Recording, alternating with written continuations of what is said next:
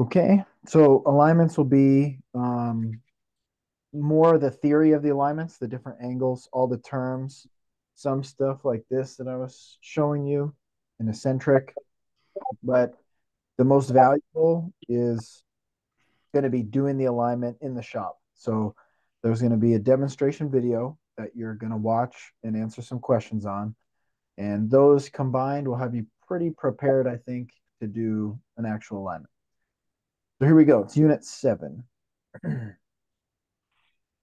All right. First things first. Why would we do an alignment? So these are the reasons. Uh, most common is customer has had new tires installed, and we may sell or recommend an alignment simply to prolong the life of their tires. And that's just maintenance. It's not to say you need an alignment. I would be very careful about how I word that. I've had a lot of people in the past say, I went to do tires and they said I need an alignment. And and that may be true, but if you look at the tires and the tires are wearing really well, I wouldn't say you need an alignment is a true statement. I would say you should consider doing alignment to help these tires last as long as possible. Um, but just be careful with your words. The second reason customers experiencing experiencing an alignment related issue. So the number one and number two, and I'm not sure in which order, would be a pull or a steering wheel off center. So they get in the car and they're going down the road, but the steering wheel's like this to go straight. That would be a good reason to request an alignment or to have an alignment done. Or um, I'd like to clarify what a pull is a pull is actually a force that's being applied on your steering wheel. So if you let go of your steering wheel, you cross your arms like this, and if the car goes to one side or the other, that's not really a pull. We'd actually more call that a drift. A drift is when the car kind of drifts one way or another. A drift is more likely to be like a very slight pull. A, a pull per se would be your hands are on the wheel. You you kind of you kind of relax your muscles and you feel the steering wheel pulling you one direction. That's an actual pull. Um, so just clarifying with the customer would be good. And also for you to clarify, just because the steering wheel's off center, that doesn't make it a pull, right? It's it's all on how it feels. And then there's a third uh, potential that the customer's feeling, and that's a shimmy. What a shimmy is, you're going down the road and it's almost like a brake pulsation, but you're not pressing the brakes. It's just shaking. Typically, you know, it may be at highway speed. And so nine out of 10 times and probably more, probably, probably more like 99 out of 100 times, we're dealing with something with the tire. Tire balance, tire at a round, tire has road force variation, and all that stuff that we can hook up on the nice um, road force balancer. We can get a measurement on the road force balancer. We can determine if that's in spec on the road force balancer, and then we can potentially fix it with a phase match. Um, but there is a possibility that the customer has actually insufficient caster. And if their caster is lower than spec, it can uh, and we'll explain it a little bit more later, but that can actually make the steering wheel shimmy.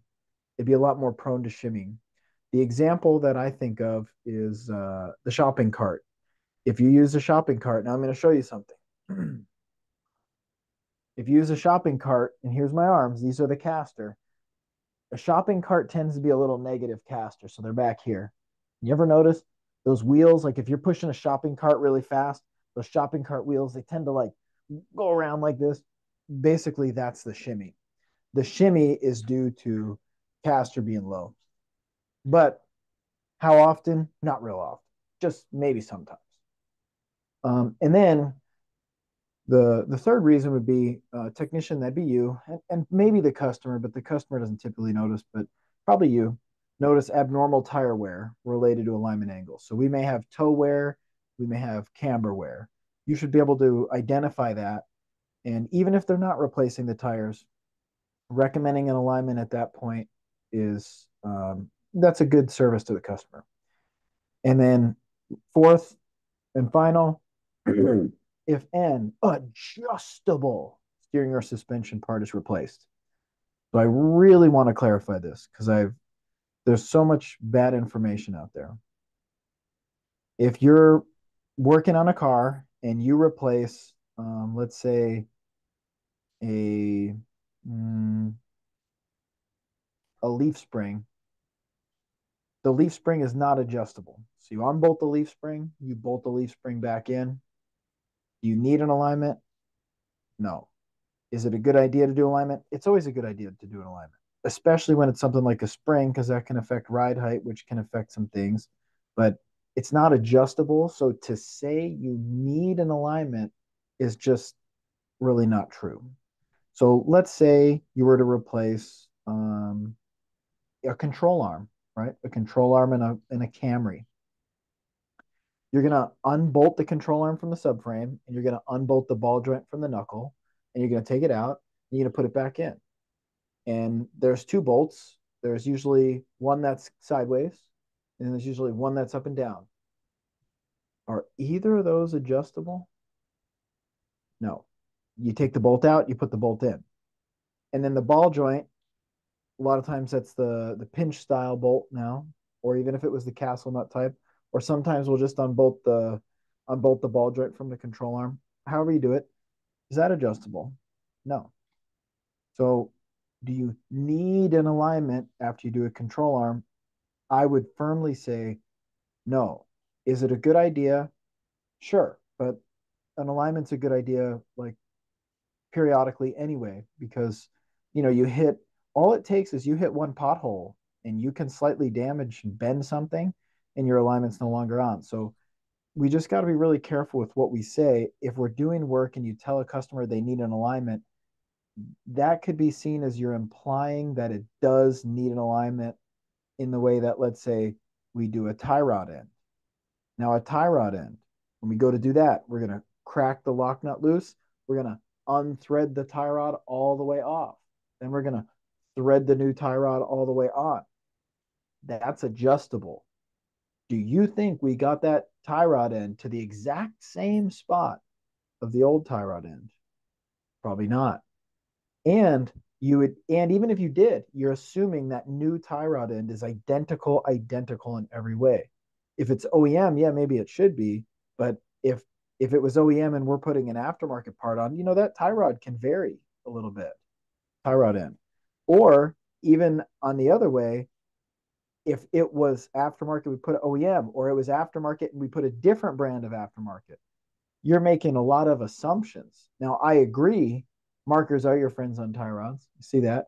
I agree, making a mark is absolutely a lifesaver because you want to get the tie rod as close as possible.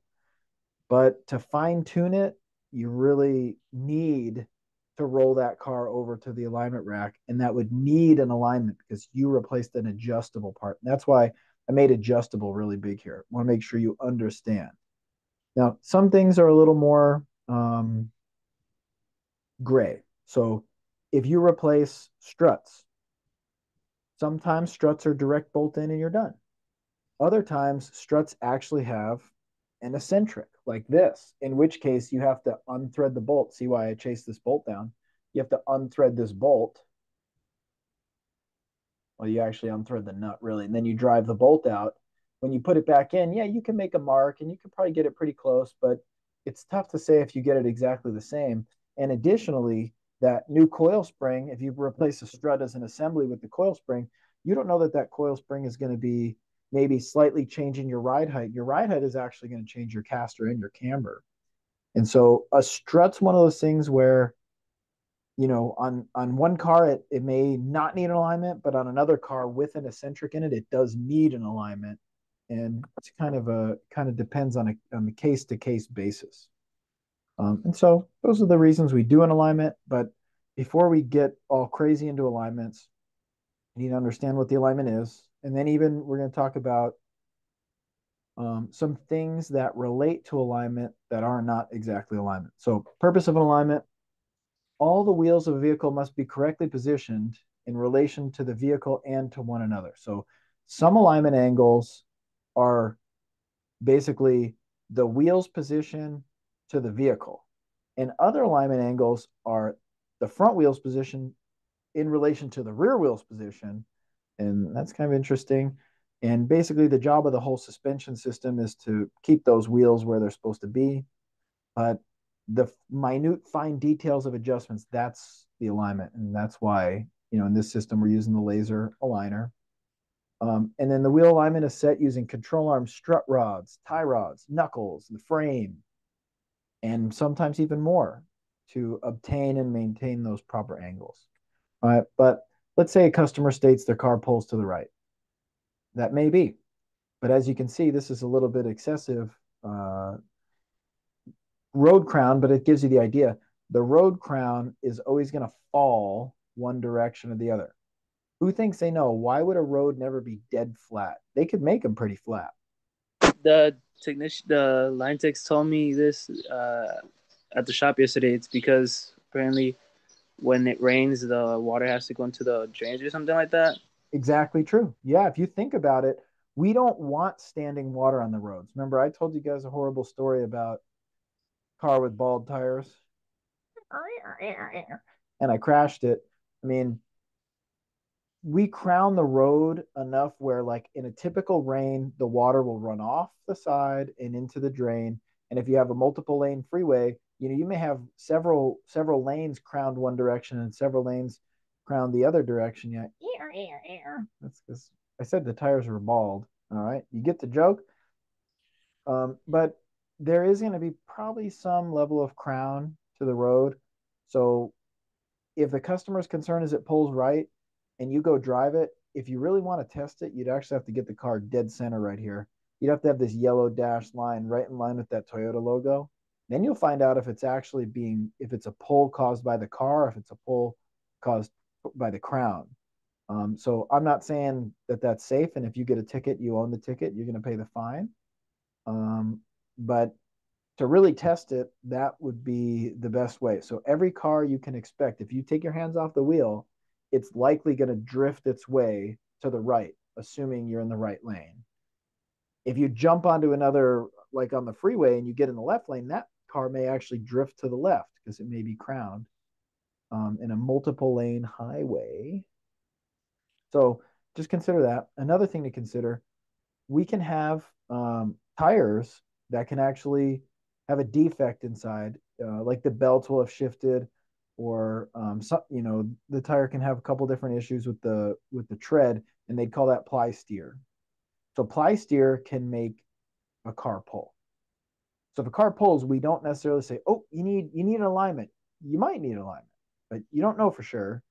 And so um, one of the things that that uh, is covered in the chapter, if you caught it, was uh, rotating the tires. So if you you get a car and not a normal rotation, not just a front to rear, that's not going to change it. But if you get a car and it pulls, one thing you could do is take the tire from the left and put it on the right, or both. You know, but mostly we're worried about the front.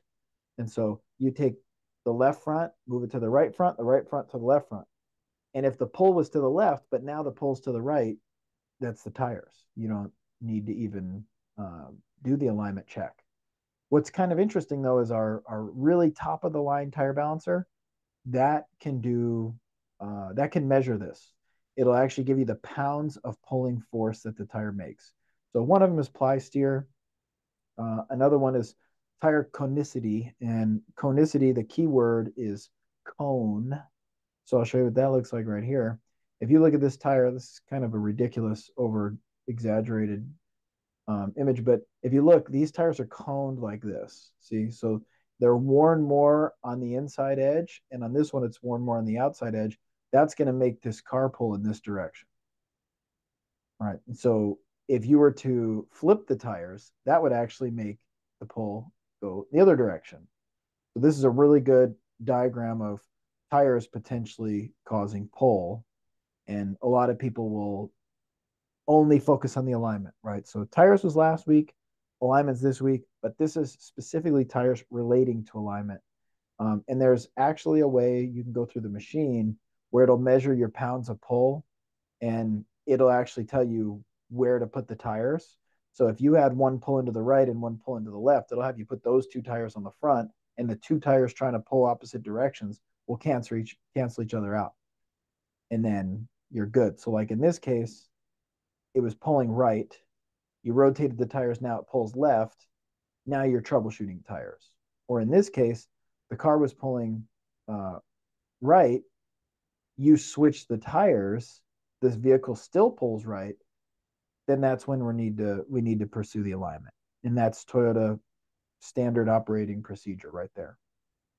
Okay, and now just a brief introduction to alignment geometry of all of all all the angles. So here's your camber. Camber, as you guys know, that's when the wheel's tilted towards the top of the fender or away from the top of the fender. Pretty common. Here's caster. Caster is a little bit more complex to explain. So I explain it like this. If you look, see that top of the strut right there? And that bottom of the knuckle. The top of the strut kind of like becomes my elbow and the bottom of the knuckle becomes like my hand. So this would be positive caster. This would be zero caster. This would be negative caster back here. So that's caster. You can't really see caster from the front of the car, right? So like what I just did, you look at my arm, you can't really tell that much what caster's doing, right? So you look at caster from the side. You look at camber from the front like this. So know the difference and then toe, of course, and that's very difficult for me to, to show on camera. But you know, look down at your feet, and like this would be pigeon toed, like that would be toe in, that would be toe out. This is positive toe. This is negative toe. And if you, it's kind of it's kind of weird to think about, but if you had a car that had toe in with this one and toe out with that one, that's actually not toe. Now you just have a steering wheel that's off center because if both your tires are going like from my perspective to the right, then all the all you're going to really have to do is steer to the left and they'll be going straight. See what I'm saying? And so toe's kind of a funny thing. Um, so just consider caster camber toe. The first one we'll cover in a little more detail will be camber. So camber shown really well right here. Negative camber, like I said, that's hella flush. Uh, zero camber, that would be perfect straight up and down. This red line right here, we can call plumb. Plumb would be like you take a rope or a string, you tie a rock onto it, and you hold it up. That rock will be pulled right towards the center of the earth. And that angle right there is plumb. So if you ever needed to check plumb, you could always do that with a string. Gravity always pulls it dead center. So like if you think of what level is, you know, you guys all know if you use a level, it has a bubble, right? But if you actually think about it, you could do a plumb line and then you can make a perfect right angle and that'll always be level. So level and plumb are always perpendicular, a perfect 90 degree angle. Okay, so we're mostly worried about um, plumb. If you wanted to call it level, you could, and probably people would know what you're talking about, but it's not. It's plumb and then positive would be tilted out. So fun fact right here, if you interest, if you um, uh, modify the suspension of the vehicle, if you lower it, it naturally falls to negative camber. If you lift it, it naturally goes to positive camber. So when we're talking about modifying our suspension, lifting, lowering, different springs, etc., uh, this is going to affect our camber. So as we would consider. Um, I see that question. Um, we talk about shoulder wear, slightly different. We'll get we'll get to shoulder wear, and then uh, positive toe for inside, whereas positive camber for outward. I don't know, but it's a it's an interesting point.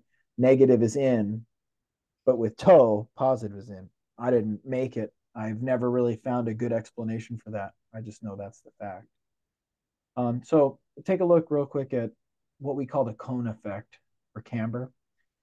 The cone effect is like basically you're looking at you're looking at um, this tire is a lot of positive camber, right? And what that does is if you look at the if you look at the actual camber line, this would be your camber line right here. Then you do a direct intersection of a right angle, you can see that is going to point way out here and that's actually going to make it so if, if you picture that and um, it's almost like a top. You guys ever seen the the the game where you like you spin the top and the top's kind of a cone, and once it stops spinning, it it just kind of goes around itself in a circle. It's the same type of thing. If you had camber like that, it's almost like a cone. You can tell it's going to try to go like this, around and around and around and around. So that's a good illustration as to why that causes a pull, the cone, the cone effect. And then same with the other way. If if it was cambered in, that's going to try to go around itself inward. So like let's say you're looking at the car from the driver's seat. That's always the preferred perspective. Driver's seat, this one's cambered outward. This car is going to pull to the right. So that's why I, I showed you when I'm looking at camber things, I literally look at the numbers and I make my hands the tires. So if I've got one like this, I already know that car's pulling to the right because it's going to try to make a right circle right here. Cool. Um, and camber, again, um, will cause a couple different things like uh, that shoulder wear. That was, was, a good question. So if we look at um, this is still the right side. So if we look at the right side, so this would be the outside of the tire.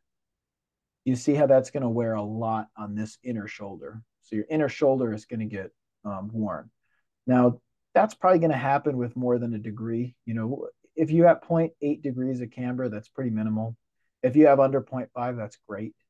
So you need to have some pretty negative camber to get that inner edge wear. This one is showing like, I don't know, like negative 20, negative 30 degree. I don't know. That's probably actually getting fairly close to 45. That's that's as outrageous um, level of camber. Seen some cars like that though. I bet you have too and that's obviously going to pull left and shred that inner uh, edge.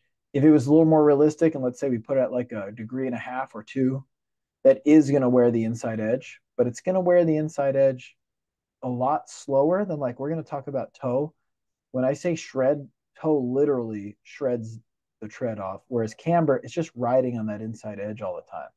So you know it's going to wear faster. And saying this is going to be positive.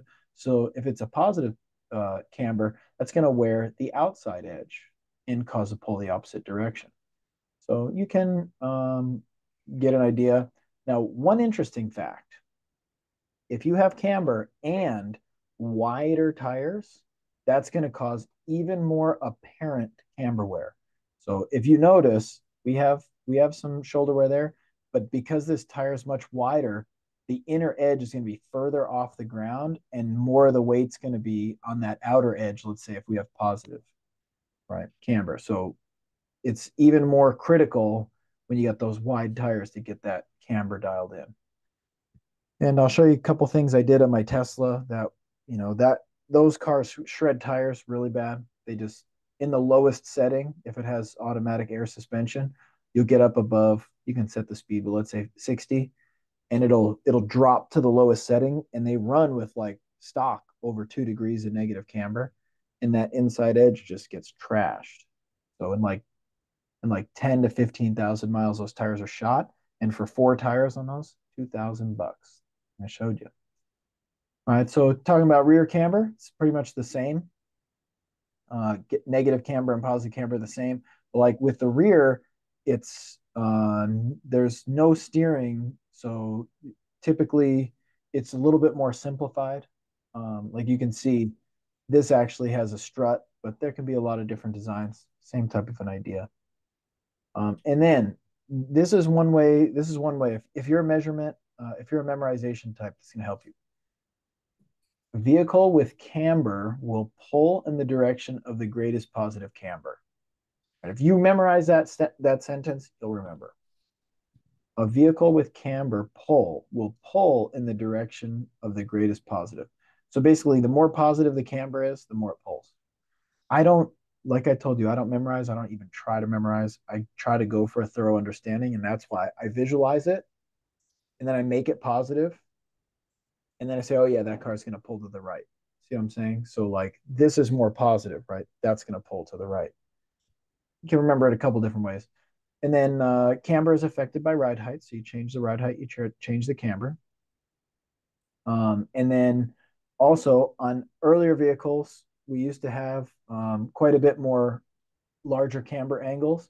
and we were we were doing that because we were running bias ply tires and they would conform quite a bit more and we were basically designing the suspension suspension in a way that the camber angles would help with the center line um, so it's it's a little it's a little bit weird to explain but um, bias ply tires because the tires were much more conforming you could run camber and the tire would kind of like comply shift and sit pretty flat now you're running a radial with a steel belt.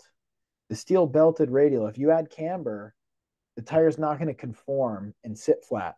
The tire is literally going to follow the suspension, and you'll have tire off the ground and tire wearing in the on the edge, right? So, it camber was less of a problem with uh, older cars with bias ply tires, and then of course the best would be uh, zero camber, would be maximum tire patch contact with the road. So that's why we pick on the the hella flush cars because it's like you took a nice wide tire, you cambered it so much that this much of the tire is, is is touching. You might as well put like bicycle tires on the car as far as traction goes. That's kind of the joke. Right now um, let's discuss real quick cross camber. So on the alignment machine, you'll see left camber, right camber, and then in the middle, that's the cross camber. That's the difference between the left and the right. So let's say, for example, um, on this first one, we have zero camber left. We have one degree of positive camber to the right. I want to show that in my in, in my hands. Zero degrees. Do this with me now. Positive one degree. You know that that's going to pull to the right. You can you can already see it. You see it in my hands. This one's out. I'll make it even a little more apparent. Straight and out pulling to the right. Now, um, uh, example number two. One degree of negative camber and one degree of positive camber. That car is going to pull even harder to the right, really hard. All right, now number three. One degree of positive camber, one degree of positive camber. Both of them are out of spec. If you look on the machine, the left bar will be red and the right bar will be red. But the center would actually be green. Cross camber is just a comparison of the left to the right. And cross camber is basically your indication of a pull caused by camber. So if, if they're both out of spec, but they're equal and opposite, you'll have a zero cross camber and you'll be like, definitely camber's not pulling. It says right here. Pull cancels each other. But the tire wear still occurs. So we're adjusting individual camber to fix tire wear. We're adjusting cross camber to fix a pull. Kind of makes sense. If you gave me a car and it had, let's say, the one degree of negative camber, and I was able to get the right side to be straight up and down, I but I couldn't get the right side to be negative one degree, right? So the best I could do is this. I'd have to go to the customer and say, hey, are you worried about tire wear? Are you worried about a pull? they're going to say, well, I'm worried about both. And I say, well, something's bent in your car, so we can't get any less than negative one degree. So you'd have to, you know, maybe take it to the align, take it to the uh, body shop and have them pull the frame. We might be able to unbolt and change parts possibly, but let's just say we couldn't. If they were to say, "Oh no, no, I really just want the car to go straight," well, cool. I'll mess the other side up to cancel it out. If all they want us to go straight, we'll do negative one and negative one, and that car will go straight they'll wear their tires, but they were already going to wear the left tire anyway because we couldn't get it in spec. See, so that's the logic. All right. So, um, caster, um, I actually want to want to switch this up. I meant to have, um, I thought I had one more caster piece. No, this one's good. This one's actually correct. So, casters with the thing I was showing you, and what I want you to keep in mind is this this steering axis right here.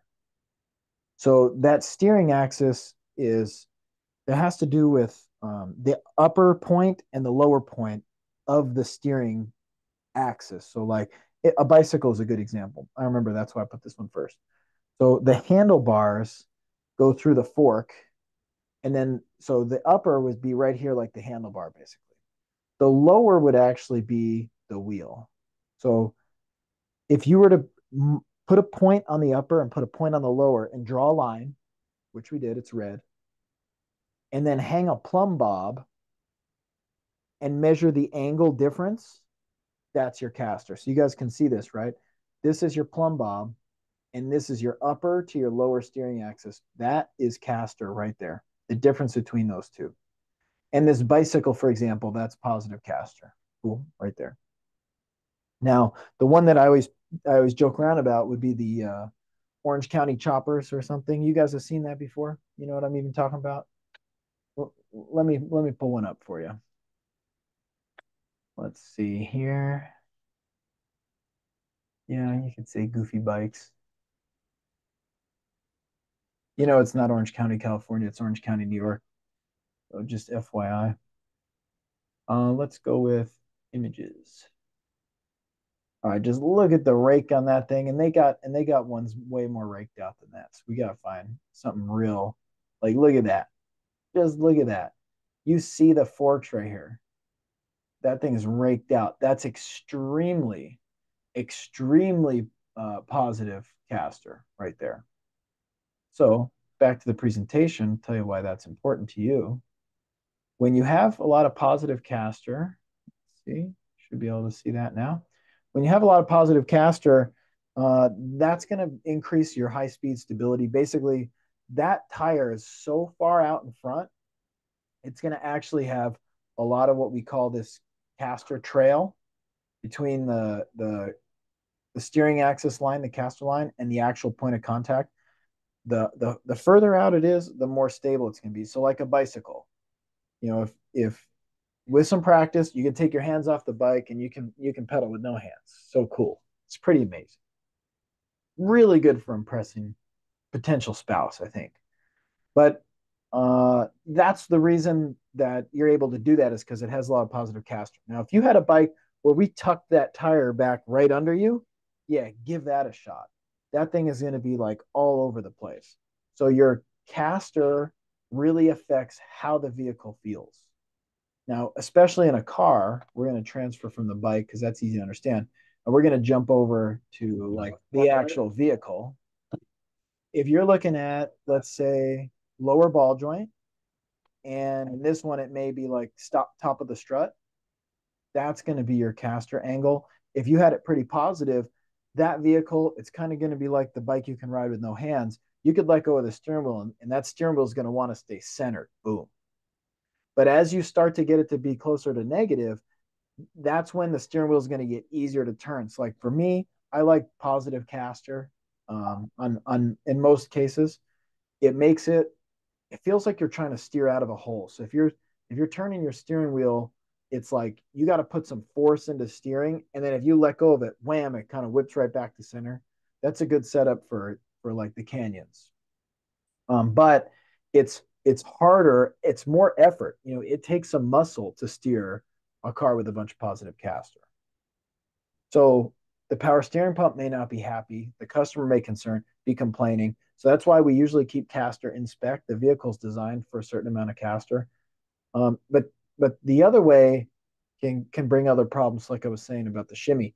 If your caster is too negative, now it's going to be easy to steer. But think about that. It's going to be easy to steer. It's going to be so easy to steer. It's going to be more prone to like any inconsistencies in the road or the tires. It's going to be easier to move your steering wheel. It goes both ways. Makes sense. So they feel different. They perform different. They have no effect on tire wear. So if you're if you have a vehicle and your upsells for an alignment because of tire wear, we're not worried about caster. They can cause a pull though. So everything that I was saying about the caster, let's go back to this, right? Let's make my the right's really positive. Let's say actually, because it's easier to see my left arm, let's say the right's got one degree positive and the left has three degrees positive. You can see already if these are handlebars, I'm pulling this way. I'm pulling to the right.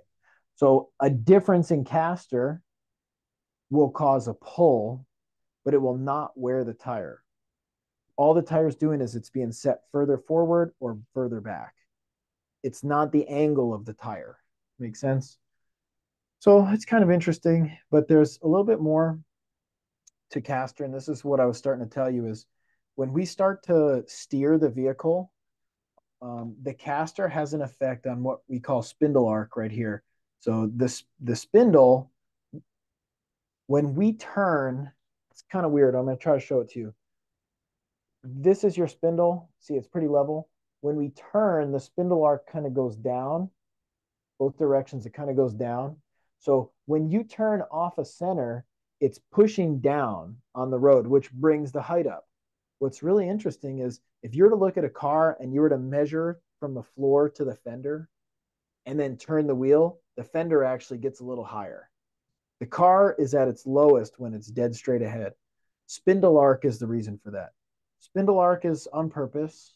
Um, the that's the reason that the caster centers the wheel. So if you have a lot of caster that further exaggerates your spindle arc, when you steer, it's going to lift the fender more, but the fender wants to come back down. So the fender, the weight of the vehicle is trying to push down, and that's trying to center your steering wheel.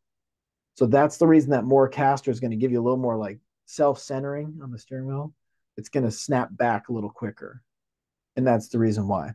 Now I saw that question in the chat. I anticipated that question in the chat. So here you go. So caster pulls negative. So what I was showing you with my arms, I think it's actually a little bit easier to see right here in the screen. So if you have this caster is more positive right here, and this caster is a little less positive, you make your steering wheel, you make your handlebars like this. Look at the right one. The right one's out further, right? So now look at your handlebars. You're pulling to the left. Cool. So so like th- this has actual numbers. You have four degrees of caster on the right and two degrees on the left. So you, you could actually, you know, this is what I would do. When I take the ASE, I pass. And I may look like an idiot, but guess what? I pass. So who's the real idiot? All right. So here you go. Right. Four, it's like up here. Four is up here. Two is a little bit up. It's hard for you to see from that angle. So four is up here. Two is only a little bit. You could do it yourself. Make sure you understand it. Now, if you don't like that in your, you know, I, we're all a little bit different. Okay, so I'll I'll beyond respect you.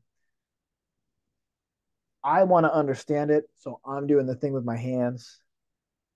But if you just want to memorize it, just remember this: caster pulls negative.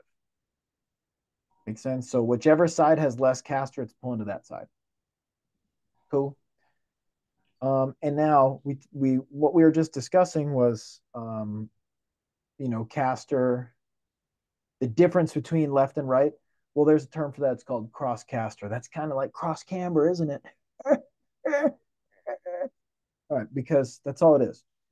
Look, caster 3.7, left side, right side 3.7. What's the difference? Nothing. So this has zero cross caster. That's amazing. Perfect. That car is not going to pull at least not due to caster. Now, camber, that's a different story. Camber, negative 0.4 on the left. On the right, positive 0.1. So that's like, eh, I'm like, eh. That car is going to pull to the right based on camber, but actually it may not because it's actually in spec. Half a degree of camber is pretty normal, most vehicles. I've seen some vehicles a little like down to 0.3. They only want they, they only want to allow about 0.3 difference side to side, but most would allow up to, about a half a degree. Um, and so again, caster not a not a tire wearing angle, not a tire wearing angle, but it can cause a pull. Cool. Um, good. And oh, and another note on caster. I explained this in person, but I'm going to explain it again caster is a is a is a calculated angle when you turn and turn. So you have to do a caster sweep. It means you got to turn the wheel to the right and turn the wheel to the left. And basically it's measuring the spindle arc. It's measuring how it changes when you turn and that tells you how raked out it is. And exactly the details don't matter to you, but the detail that has to matter is it's not live. So you do a caster sweep, and then you're like, oh, let me change the caster real quick. And then you're like, yeah, it's good now. You don't know that. You have no idea what the caster is.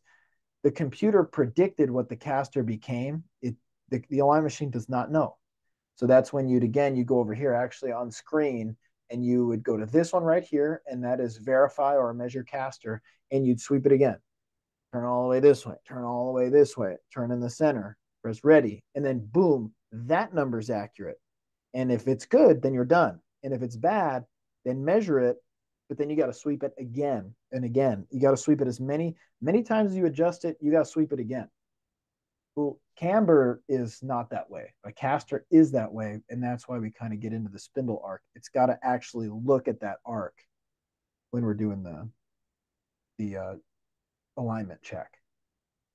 All right, now continuing, ride height and the influence on caster.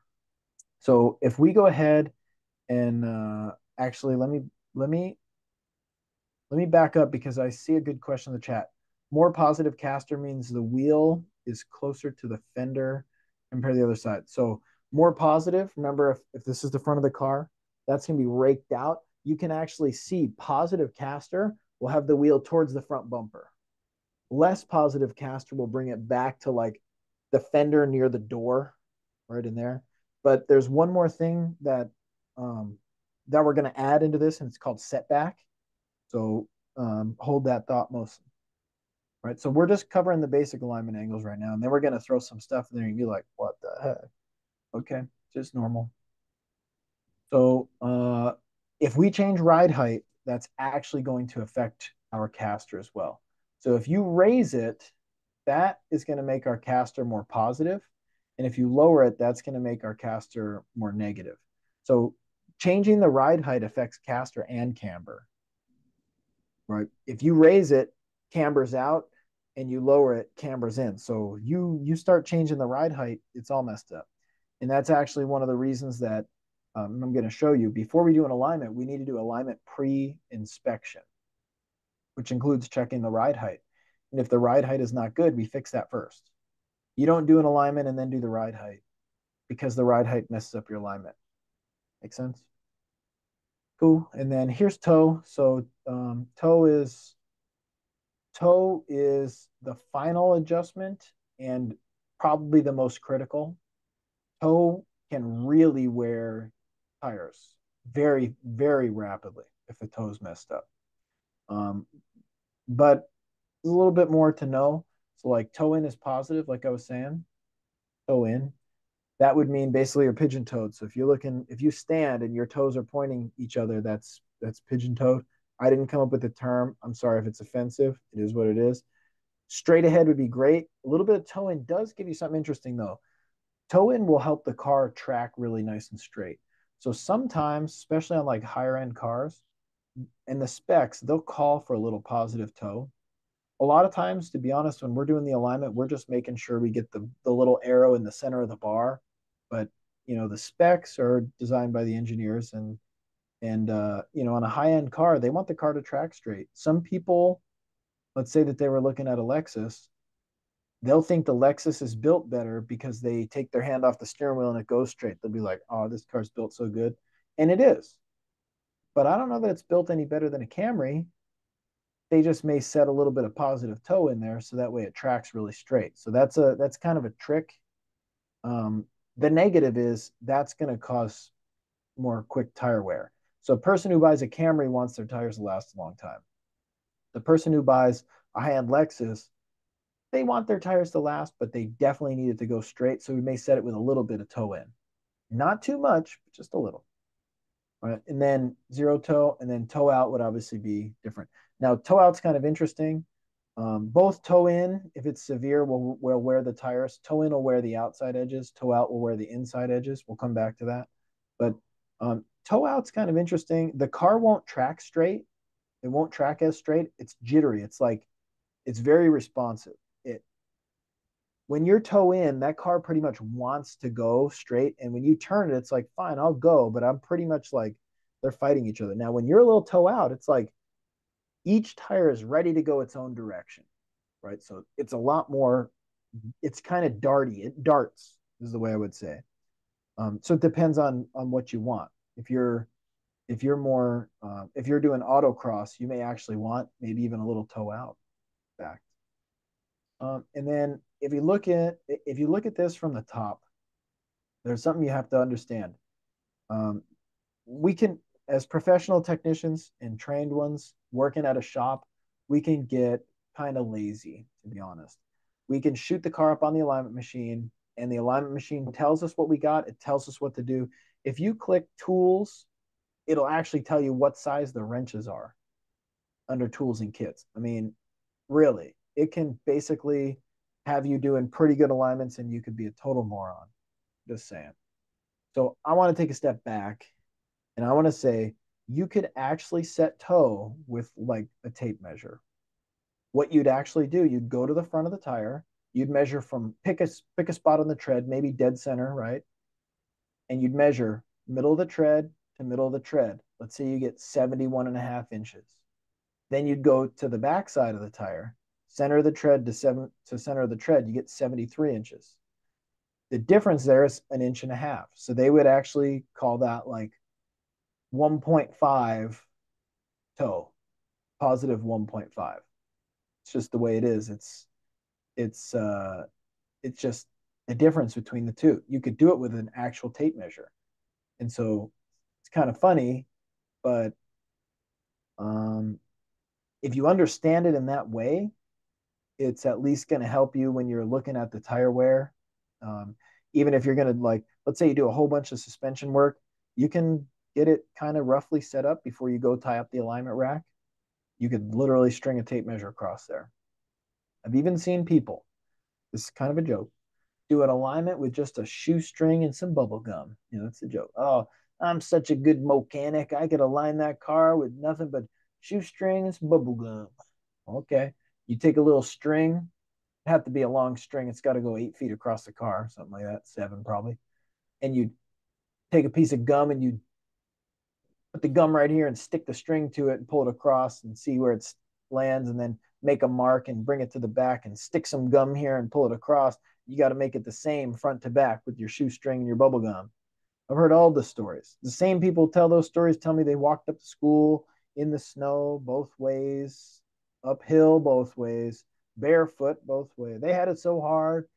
You know, what do you do? Now, if you look at toe out, it's kind of a similar type of an idea. It would be the front measurement would be more than the rear measurement.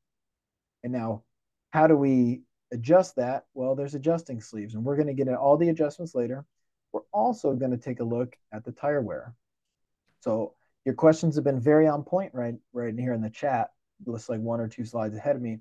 So if this is toe in wear, you can see it's basically it's it's toed in. What that's going to do is this tire is trying to go this way. See how it's it's trying to steer inward, but it's being forced to go straight. So you're essentially dragging that tire across the ground. So if it's toe in, it's going to mostly wear the outside shoulders, but it's not going to be smooth, clean camber wear.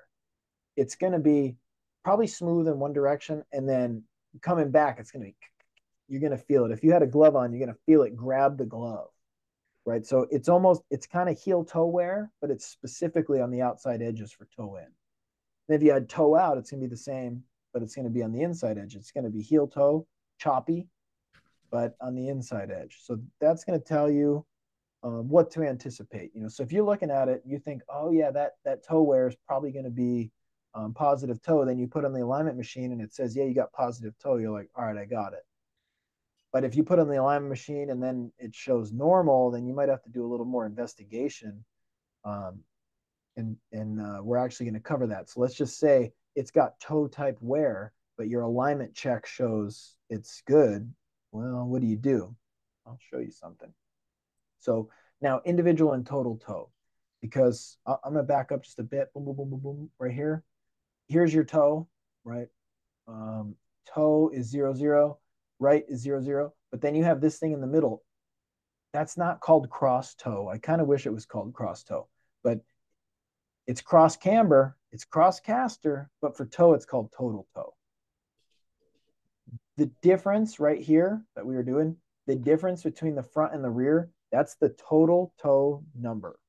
Okay, so here, when we're talking about total toe, that's just basically left toe plus right toe. So if we had uh, one and one, that would be uh, two. That would be two degrees. So this is where it gets a little bit tricky. Sometimes toe is measured in inches.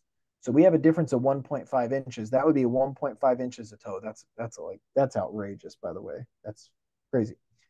But other times toe is measured in degrees. So if you had dead center, that's zero. If you had uh, toe out, that'd be one degree. That'd be that'd be negative one degree. Or if you had like a bunch more toe in, that would be like positive two degrees. So you can measure toe in inches, which is a difference, which is a measurement of front and rear. So that's total toe. Or you can measure it in degrees, which is more of a measurement of like which, you know, if you're looking at dead center, how many degrees is the angle off of dead center? It could be either way. Okay. It's a little weird. Kind of doesn't matter, but at least the theory, I want you to understand it. So individual toe is left plus left plus right. All right. Now let's get into it a little bit more.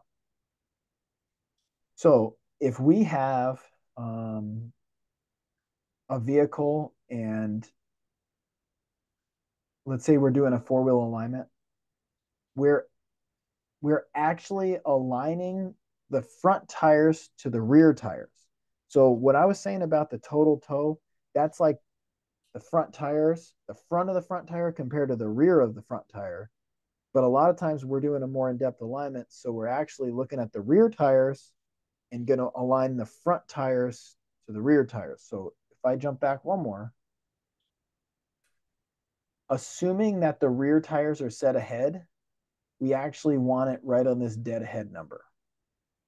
But the alignment machine picks up on this and it actually looks at the rear tires first and essentially says, you know what, we're essentially going to look at our total toe number, but we're also going to reference the rear toe so that we can align it to the rear.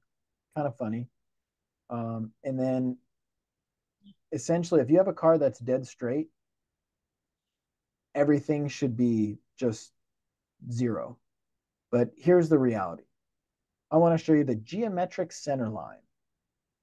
If it's a Toyota, you're literally going to take that Toyota logo, this one right here, and you're going to split it dead center, dissect that sucker right in the middle, and pull a line like a string from the rear logo all the way up to the front logo, and then pull it off and into infinity. That's your geometric center line. That's actually the body of the car center line. That is a little bit different than what our actual rear tires are doing. So if you look right here, this tire is toed in. You can see how these rear tires are toed in. So if these rear tires are toed in, but let's say it's toed in like a half a degree and a half a degree, that would maintain the same, that, that'd be the same as the center line. The problem comes when you got tires that are different, right? If you got a half a degree here and a whole degree here, now your rear tires are no longer in line with your geometric center line. You're like, what the heck? And the alignment machine actually makes it uh, fairly easy, but just just talking about it when it measures toe, it's it's talking about the difference of the geometric center line when it shows the degrees. It's crazy. So let's continue with that. This one is a little more positive toe in the rear and a little less positive toe on the right side in the rear. So if you look at this, this we're going to basically take the toe of the left and the toe of the right, and we're going to essentially average the two. So if we had two degrees positive and one degree positive, the average would be one and a half, right? We would take the geometric center line, we do one and a half degrees, and this becomes a thrust line. What are you serious? What are you talking about? Well, the reason we need to know that is because basically that's the direction that the vehicle is trying to go. And it's all based on the rear. So ideally, we can use the real center line, but in reality, we look at the rear two tires, we calculate the difference between the two, we average them, and then we pull this geometric center line in blue. That's the direction the rear of the car is trying to go.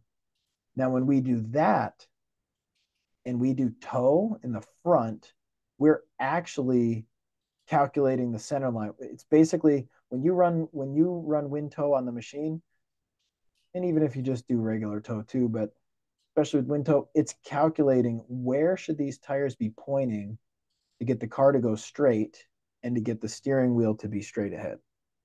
So here's what's kind of crazy. Here we got a vehicle with a thrust angle to the left. It's a negative thrust angle. If you think about it, what's going to happen, the rear of the car is going to try to go left. Right? So you're thinking, well, that's kind of weird. If the rear of the car is going to try to go left, you think maybe you'd have to steer right. But if the rear of the car is going left and you're steering right, it's taking a hard right. So to actually get it to go straight, you have to steer the same direction left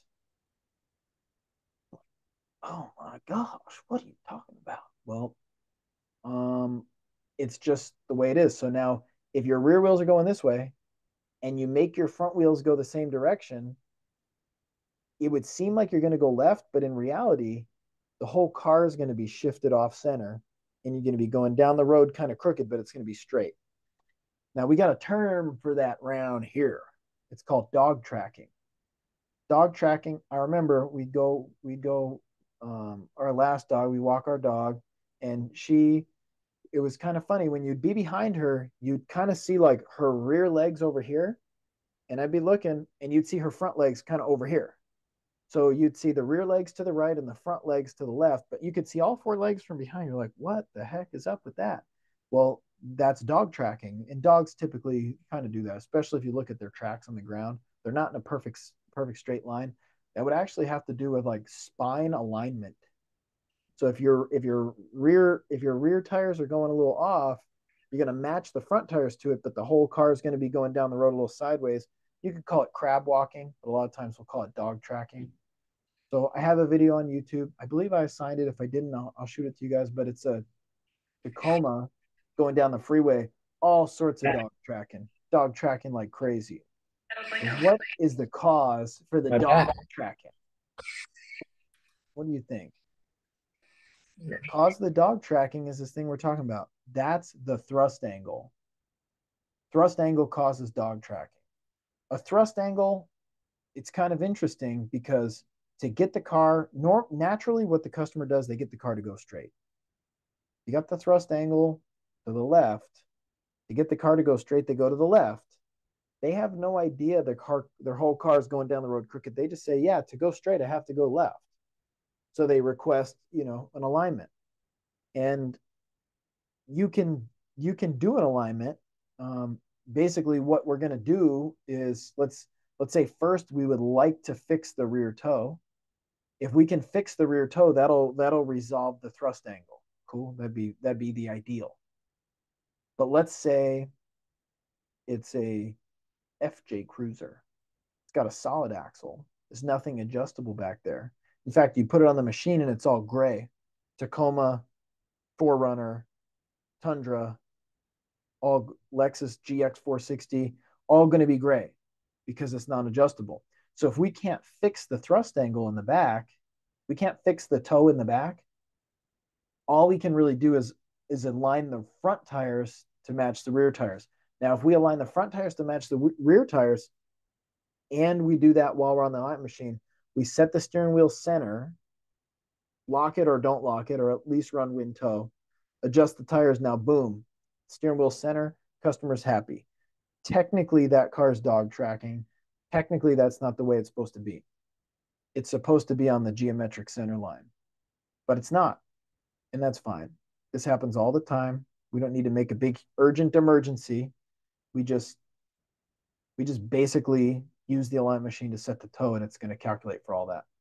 Cool. Now let's say it has a positive thrust angle. Now you see both rear tires are pointed to the right. That means you're going to steer the car to the right to get it to go straight. What the heck? Now, Marty's question is good.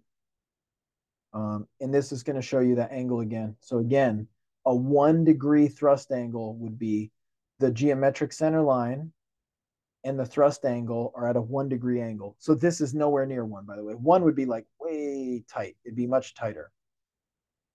Now, how or why? Um, a lot of times, uh, vehicles don't have a thrust angle from the factory, but they can. There's been a number of vehicles that from the factory have a little bit of a thrust angle, and you know it'd be pretty small. But if it's got a larger thrust angle, it's very possible it's something that was in an in an accident, and that doesn't mean the whole body's twisted. Although it could be could be a bent frame.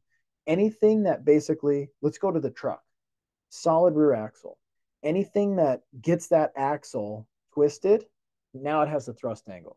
So let's say um, customer throws it in reverse, they go to back up, and there's a big curb behind them. And boom, they slam the curb and it actually tweaks the axle. Now it's got a thrust angle. Now it's going to have a crooked steering wheel. Or more likely, what I've seen from students over the years, there they are out there doing the what you call the skirt skirt, out there drifting, not like not like the clothing, like more like you know the wheels are are, are squeaking squeaking their tires, and uh, they slide their BMW into a curb. I got a picture of this one. Slide it into the curb. Depending on how they hit the curb, they may, they may. They, this is actually where we get into some other angles, but they're going to move the position of that tire. So now, if you've got a tire, the left side is straight, the right side they slid it into a curb, and now the right side is like way, way negative on average, it just pulled the the thrust angle to the right. So probably probably due to an accident, more than likely, some sort of damage. Um, I've also seen on some vehicles, I had a car that pulled that had a steering wheel off center to the right. It didn't pull, sorry. Steering wheel off center to the right, and then I would drive it, and then the steering would be off center to the left. And it was all over the place. I pulled it on the alignment machine. We went ahead and we adjusted the rear toe, hooked it all up. I went and drove it and then it was still off center. So I pulled it back in, and all the alignment angles were pointing way left. So I centered them all, and I went on a couple little road tests, and then all of a sudden I pulled it back on the art machine, and now they're all right. It's like what the heck? Well, that one was actually due to uh, bad bushings. The bushings were allowing the whole rear suspension axle to, to move. So you'd go around a hard turn, it would actually move it enough, and then it would get stuck and then you'd go around the other turn, it would move it the other way, and then it would get stuck. So like you may consider some bushings and stuff here too. Um, but but a defect.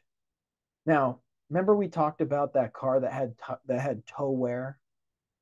The car had toe wear, but you checked the alignment and the toe was good. Check this out. I'm going to teach you about the toot. Toot is toot, toe out on turns this one's kind of hard to explain, but but basically, when you want to go around a turn, there's this thing it's called Ackerman geometry. You're going to take the two rear tires, draw a line through them, boom. Then you're going to take each one of the front tires and you're going to you're going to do a perfect right angle, right? A um uh heck is a right angle called? Whatever, a perfect right 90 degree perfect right angle, perpendicular. Thank you so perpendicular, right out, and the same with the left. If these had the exact same angles, this one would come to this point and this one would be way further out. See, so we want our tires going straight when you're going straight. But when we turn, we actually want this one to turn uh, a little bit different than this one. Like, for example, this left tire has more toe out. If it had no toe out, that line would not be coming to the same point. We want all of our angles to intersect at this point, and that's the Ackerman principle. So rear tires over, front tires, front tires, and they should all come to the same point all together. That's by design. And that's controlled by something that we call the steering arm. And so your steering knuckle has a little arm built into it that the tie rod attaches to, the tie rod end. Boom. That steering arm is is actually shaped in a way where when you turn, it's going to cause toe out. Toe out on turn. So the if you're going left, the inside tire is going to turn a little extra and the outside tire is going to turn a little slower because the arc on that steering arm. But let's just say that you slid it into another curb, and this would be a front tire, and you bent that steering arm. Well, you could pull the car in the, the toe is off, right? You could adjust the toe and now the toe's on. But the problem is the toe's dead center right now because you've made up for a bent steering arm. But when you go around a turn, it's not doing this toot thing that it's supposed to do. It's not doing the toe out on turns correctly because it's bent. So you got one tire, let's say your let's say your right tire is going right to the right point and your left tire because it's bent is trying to come way out here. You're going to essentially scrub that tire. You're going to be scrubbing that tire every time you turn. It's going to be just like you have a toe problem, except the machine says your toe is good. So, how do you diagnose this one? And the answer is toe out on turns. So, if you get into the machine, you can actually measure toe out on turns. We'll cover this one more time. Okay. Toe out on turns would give you that mysterious tire wear that looks like toe, but your toe's in spec. Doesn't mean your toe out on turns is. Toe out on turns is a special one. You actually have to go in the machine and do some different movements. All right, so, um, and this is just summarizing what I said. So here's another way to look at toe out on turns. If you look at your steering arm, that's this arm right here, we would draw a line on that steering arm, and that should hit dead center, of the geometric center line, exactly when it's about to cross the rear axle. So when they design the car, they design it like this. When we're actually measuring on the alignment machine, they, they're more measuring this. Right. So those should all be the same. It's in perfect symmetry. It actually makes a lot of sense. All that, of course, would affect your turning radius because again, when you're doing a turn, this is this is the radius of your turn is like to do a U-turn, how far would you have to go? It's essentially like half of the diameter. Um, and then when you're we're doing these tight turns, remember that's when we need to toe out on turns, assuming it's going to work right. So, and the point here is when we do steer, a lot of times there's a steering stop. So we can only bring the tires so far. We don't let the tires like keep going and going and going and going it's going to hit a turn stop. On most cars, that's inside the steering rack. On some older cars, that was actually the knuckle would hit the control arm. There'd be a little point right there that would be shiny silver, and it would squeak when you hit it. So you'd put a little grease on there, and it would no longer squeak. But that's a turning stop. Uh, not speaking, they may call it a bump stop, but I wouldn't call it a bump stop. I call it a turn stop. All right, and then continuing, this gets into the thrust angle, center lines, and setback. So the thrust angles, like what we talked about, it can be adjusted if it has adjustable rear suspension. But if it's got a, a solid axle, it can't be. So I'll give you a really cool example. We had uh, in the dealer, we had a big 2500 HD, and it was in a collision, and the body shop did all sorts of work on it. And then the, you know, it was it was a good body shop was attached to the dealership. It was a good place. So they send the car from the body shop to the tech shop and they put it on the alignment machine and it's got this wild, nasty thrust angle in the back. And it's a truck, so there's no adjustment. You get to looking at it, and immediately the uh, my mentor at the time already knew what was wrong. Boom, it's done because he knew the suspension system. So your axle, your rear axle, sits on the leaf springs the leaf springs locate the axle. Little did you know, there's a little tab on the bottom of the axle and a pocket. There's a tab on the bottom of the leaf spring and a pocket on the axle. And when this got in an accident, it actually sheared the tab off. It sheared the little dowel. When it sheared the dowel, now the axle is sitting off centered. So the axle is at an angle in the leaf springs. And that was the whole issue. So what the truck need? It actually need a leaf spring because that's the dowel was what was broken off. Basically, the dowel is a bolt that holds all the springs and the spring pack together, and it just has a special end on it to locate it. So um, that one is kind of funny where they say, you know, you can't adjust thrust angle on rear suspension. That's true, but that doesn't mean you can't fix the defect that's causing it. So you might have to think a little bit on those. Right. And then um, this gets into, um, well, some other things. So like what I was saying right here, the leaf spring that had a broken center bolt. I wanted to tell you that story before I showed you. And then a couple of uh, interesting points. A small thrust angle can be compensated by adjusting the front wheels. We do that all the time. That's normal. The thrust line should be minimal. It should be very, very close to the geometric center line, as close as possible. And then setback is interesting. Setback's an alignment angle, but it's not adjustable. So why do we care about it? Well, it allows the technician to diagnose the vehicle. So we would use setback as a diagnostic tool. And then to measure it, we put on the alignment machine. And, and the alignment machines can actually measure setback, but let's just say we're going to measure it manually. Setback is basically a wheelbase measurement.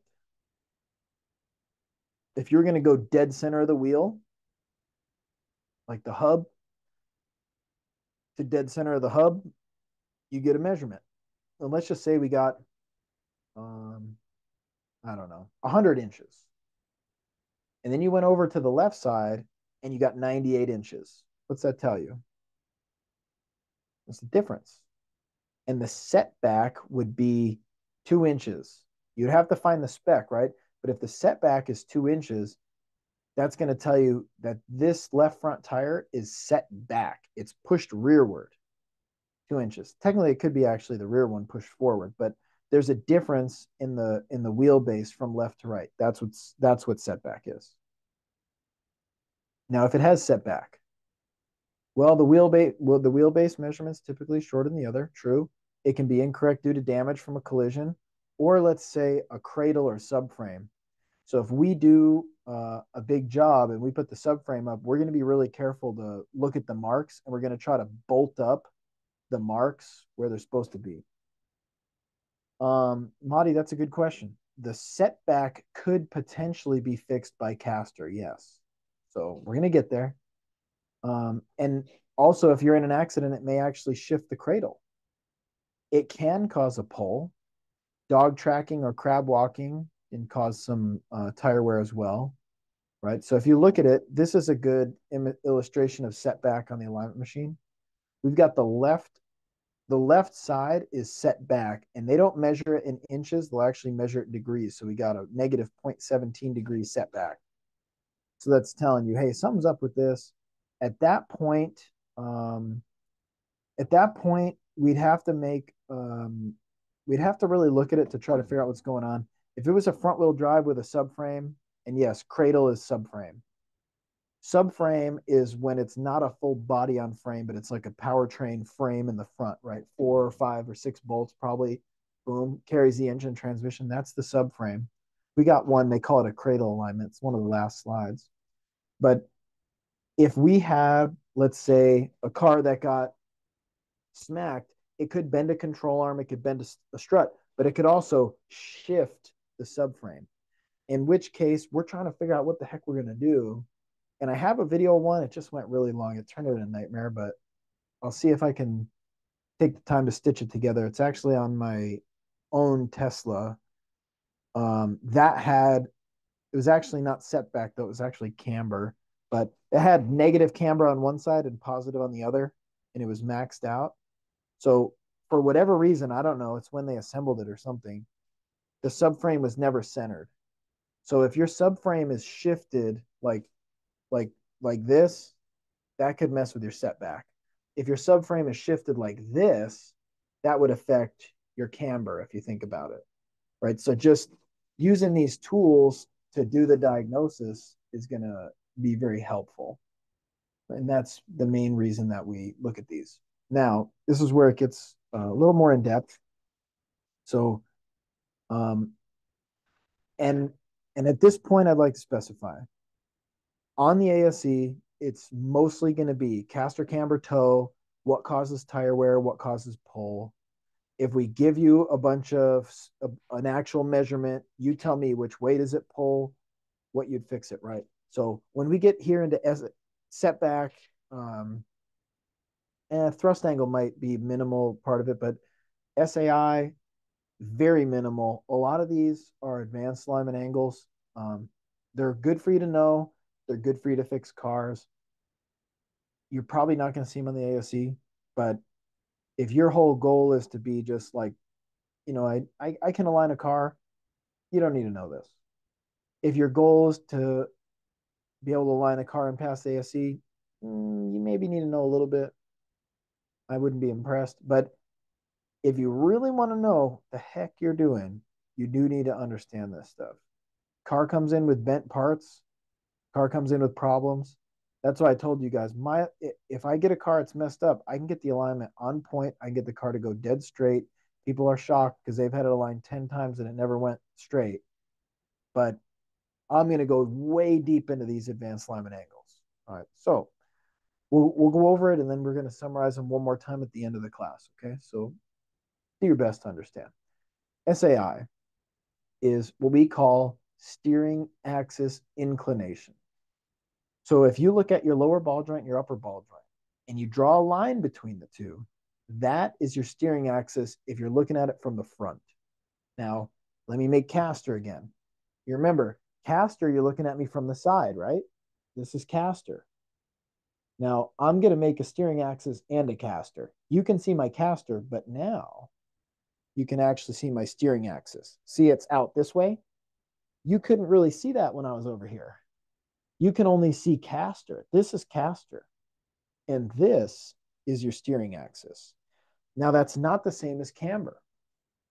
Camber is the tire. Camber is basically uh, an extension of the hub right here. This is camber. Your SAI is, is actually upper steering point to lower steering point. In this case, that's ball joints, upper ball joint, lower ball joint. In a MacPherson strut, that would be a lower ball joint and an upper strut mount on top of the strut because there is no upper ball joint. Okay, but that's your SAI, steering axis inclination. Steering axis inclination is uh, a lot like caster. It can affect quite a few things. It, it the effective SAI is to make the end of the stub axle or spindle move downward. So that has, again, to do with really a spindle arc.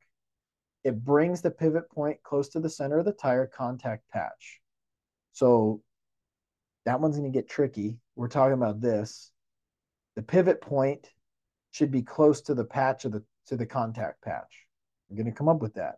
That's going to be some other than SAI, but um, steering purposes, SAI ideally intersects with the camber line. So if we want a perfect suspension, SAI should be very close, if not hitting ideally right where the center line is.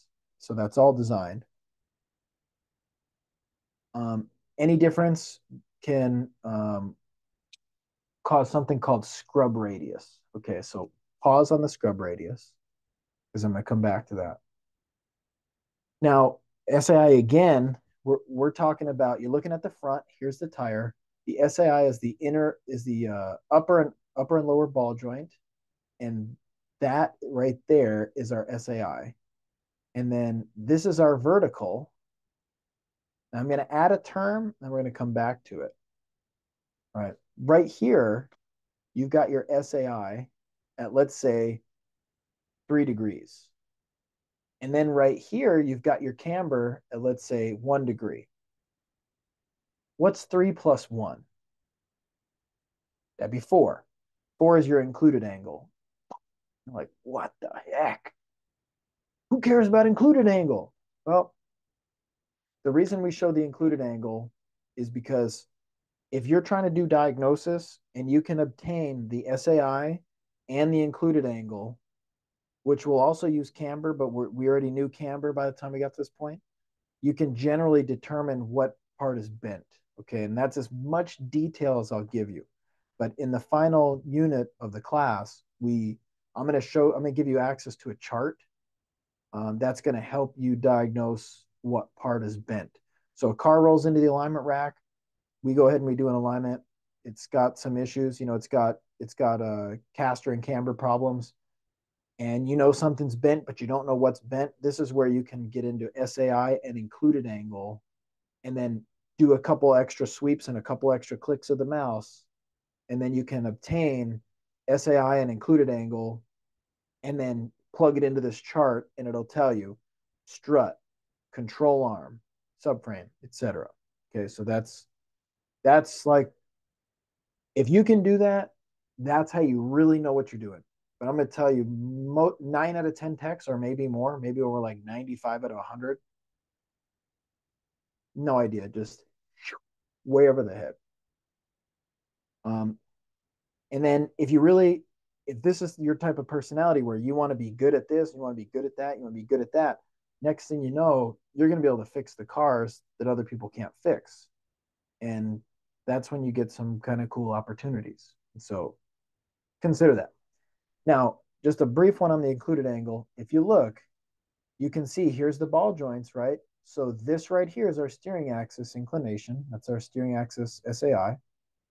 And then right here is our actual camber. And right here is our vertical line. So right here we have like kind of a normal SAI, but we have a really big included angle. And that's kind of telling us, you know, something about where these joints are sitting. And that's how it does the diagnosis. Kind of crazy. Now, we're right here at SAI. So if you understand SAI pretty good, hopefully you do, we're looking at the axis of inclination from the front of the car. We can get into scrub radius. SAI intersecting the tire center line, it's basically camber.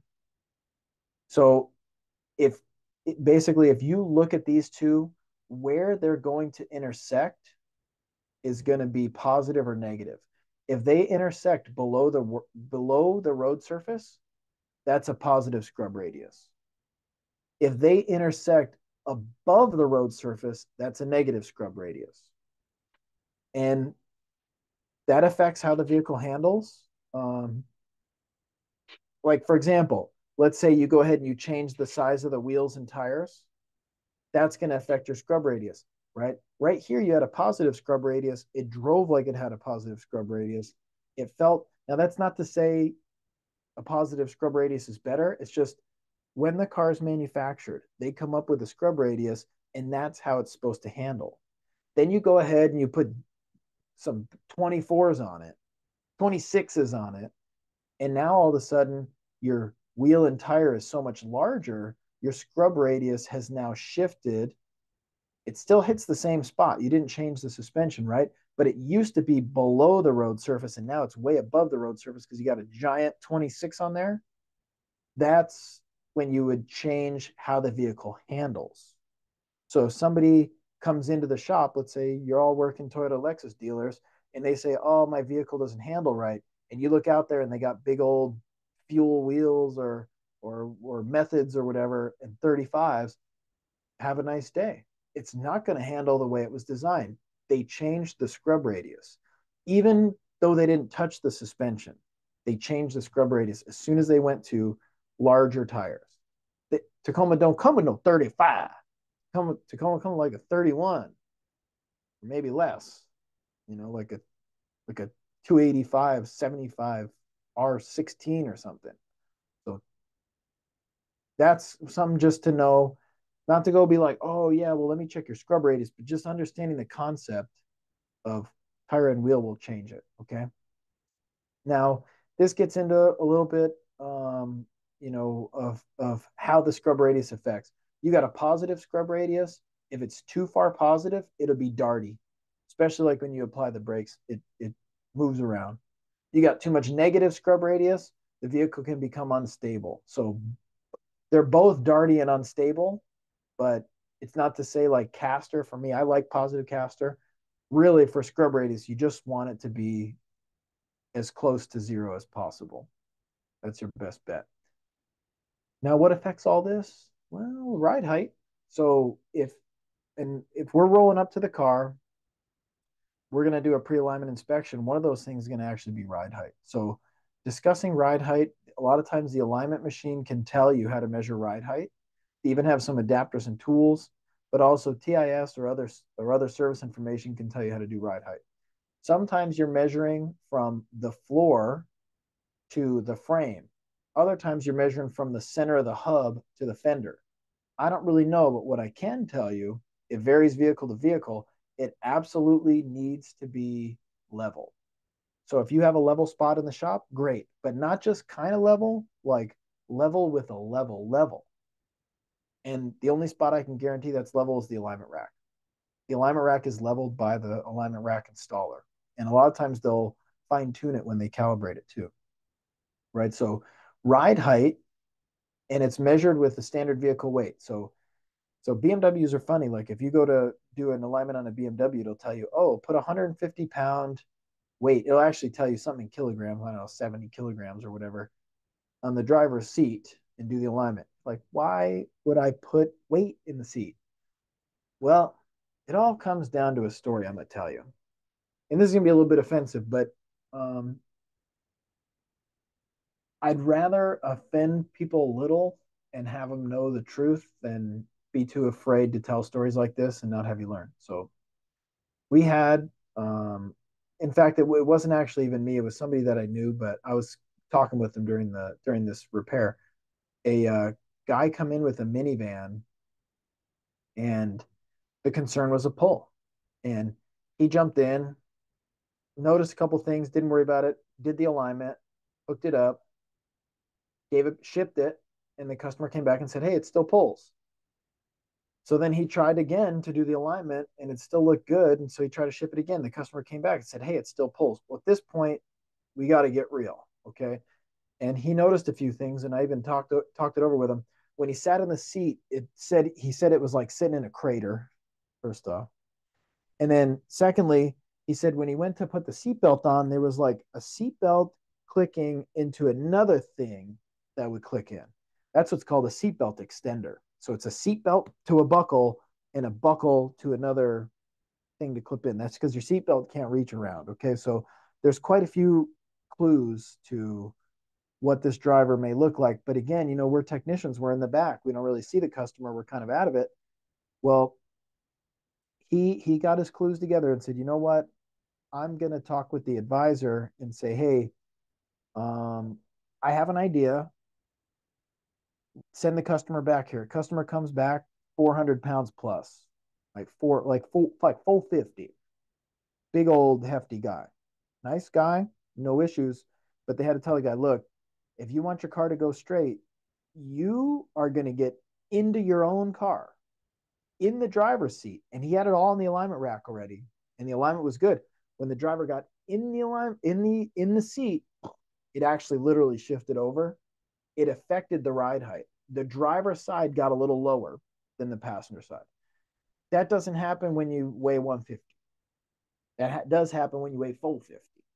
And so this tech literally did the alignment with the customer in there. And it was a hard discussion to have. But, you know, th- that guy, he wanted his car fixed. He wasn't, people don't come to the dealership to hang out they want their car fixed. So if it's something like that, you got to understand weight does affect it. And so while I think BMW is a little over the top with like 150, put a put 150 pounds in the seat. I think it was less actually. I think it was more like 80. It was some small amount of weight. I'd say that's just dumb. If you really want to be technical, get the driver, put the driver in the car and do the alignment with the driver. And even that's kind of ridiculous. Okay, but that's still the point ride height affects caster and camber. And by the way, caster and camber, you know, we have to fix those before we do the toe. So like basically you got to get it all dialed in with the customer in there if you want to have it perfect. Okay, so continuing. So if we got a ride height problem, I told you it could be based on the the hefty boy, or it could be, huh, weak or sagging springs. So I want to make something clear because we haven't gone too deep in suspension. Um, a vehicle that's sagging is that's not that's not a shock absorber. It's not a strut. That's spring. Spring holds the weight. Okay, so like if we have springs and they're kind of worn, that's going to affect the ride height. We don't really want a difference of more than a half inch from side to side. And I've seen many times where the left front tends to sag a little bit more because the left front's got the person in it all the time. Or if it's like a truck and they always got a bunch of stuff in the back, you can a lot of times have the the the rear of the vehicle squatting and the front kind of coming up. That's going to affect our measurement. So we really need to get in this get this ride height dialed in, get it get it within spec, get it to where we want it. Do the ride height first. Right? And now different types of alignments. this would be um, pretty simple. A front end alignment, we don't do those. We don't do front end alignments. Front end alignment is a term that never really went away. A front end alignment didn't look like this. That's where we'd literally be measuring the camber with like a bubble, measuring the caster with like a bubble. Uh, in fact, you couldn't even really measure the caster, to be honest with you. And then you'd you'd measure the toe like with a tape measure, but you might do it with a little bit more fancy stuff on the machine. But a front end alignment is not taking into consideration the rear at all. So remember, when we do our toe, we usually are setting our front toe to match our rear toe to make up for that thrust angle. A front end alignment doesn't even know the thrust angle. It doesn't care about the thrust angle. It doesn't know any of that stuff. It just knows I want my wheels straight ahead, period. So it relies on you centering the steering wheel really well, adjusting, you know, really, but it's not a it's not a good design, and we don't do it. We haven't done it in many years, professionally anyway. And now a thrust angle alignment and a four wheel alignment are very closely related. It we're gonna call it a four wheel alignment, and I'm good with that. But technically, if you mount sensors on the back of a solid axle vehicle like a truck, you're not doing a four wheel alignment. You can't do a four wheel alignment because you can't adjust it. But you're mounting the targets on the back to get a reference, and then you're matching the front wheels to the rear wheels with that thrust angle, and that's why it's a thrust angle alignment. I didn't name it, I just understand it. And then last but not least, and hopefully the most common for us, a four wheel alignment is just like a thrust angle alignment, except it's when the rear is adjustable and we can actually adjust the rear. So if you can adjust the rear first and then you adjust the front, you did a four wheel alignment. Have a nice day. Cool. Those are the types. Now, as we continue, um, here's an example of uh, the alignment machine in use. So like this one, for example, because these are green, if we can do adjustments back here, this is considered a four-wheel alignment. You notice there's no caster on the rear because caster is the steering axis and the rear wheels don't steer. And I know you can find a couple exceptions, but generally speaking, the rear wheels don't steer. All right, so this one's uh, pretty good uh, indication here. And I like the virtual view because you can see like this angle is going to be camber. So the camber is good. If it was positive camber, it'd be out here. If it was negative camber, it'd be in here. And then you can see the toe. If the toe was positive, that's toe in, it'd be over here in the red. Toe out would be over here in the red. And then the camber, I mean the uh, caster I like because they put it right on the strut. So if you if you look, this is the front of the car. If your caster is more positive, that's when this angle this this arrow is going to kind of come back at you, right? It's going to come back. So the virtual view is cool. But generally, we work off the bar graphs. And when we're at the when when they're on the bar graphs, the numbers mean something. So generally, if you're looking at numbers, and this is this is actually an ASE concept. So when you're looking at numbers, um, zero degrees means exactly that zero. But if we get a quarter of a degree what the heck does that mean in decimal units? Well, a quarter is 0.25. Cool, that's easy enough, right? It's a quarter is 0.25. A half would be a 0.5, and a three quarter would be a 0.75. That's pretty easy. The older alignment machines would actually have zero, a quarter, 12, a half, three quarter. But the new alignment machines, we've really gone to decimal. Now, where this gets a little weird is the ASE can and rightfully so if they want they can use minutes and degrees of an arc. So like minutes is um it's kind of like degrees but it's degrees broken down to a 60th so in one degree there's up to there's 60 minutes kind of like time. So if you had a quarter of a degree that would be 0.25. That would also be 15 minutes of an arc. Whoa. It's kind of like tenths of an hour flat rate system. A half would be again 0.5. That'd be 30 minutes. Three quarters, 0.75, and that's 45 minutes. Right. So just so y'all understand. And then one degree is 1.0 degrees is 60 minutes. I've seen uh, on the ASE where they may say something about like uh, they might give you some specs and they may say the spec is zero degrees plus or minus 15 minutes. So that's like I automatically get rid of the minutes because I don't like the minutes. And I'd say, oh, that's a quarter of a degree. So the spec is plus a quarter and minus a quarter. Anywhere in minus to plus a quarter is in spec. See what I mean? So, but you you do at least need to understand minutes. Cool. Now we will continue. The number line is something I want you guys to think about. There are times on the ASE where I literally draw a number line because it's hard for me to understand. If I gave you a question, the left side camber is negative 0.5 and the right side is positive 0.5. What's the difference? And you're like, 0.5, negative 0.5 minus positive 0.5 is, or is it fi- positive 5 and negative point? The number lines can simplify that. So I said a 0.5, right? 0.5 is a half, so I would make this a 0.5, by the way. But if if we were um, a negative half to a positive half, what's the difference between the two? You can you can see it better on the line. It's a negative half down and a positive half up. That's a whole one degree right there.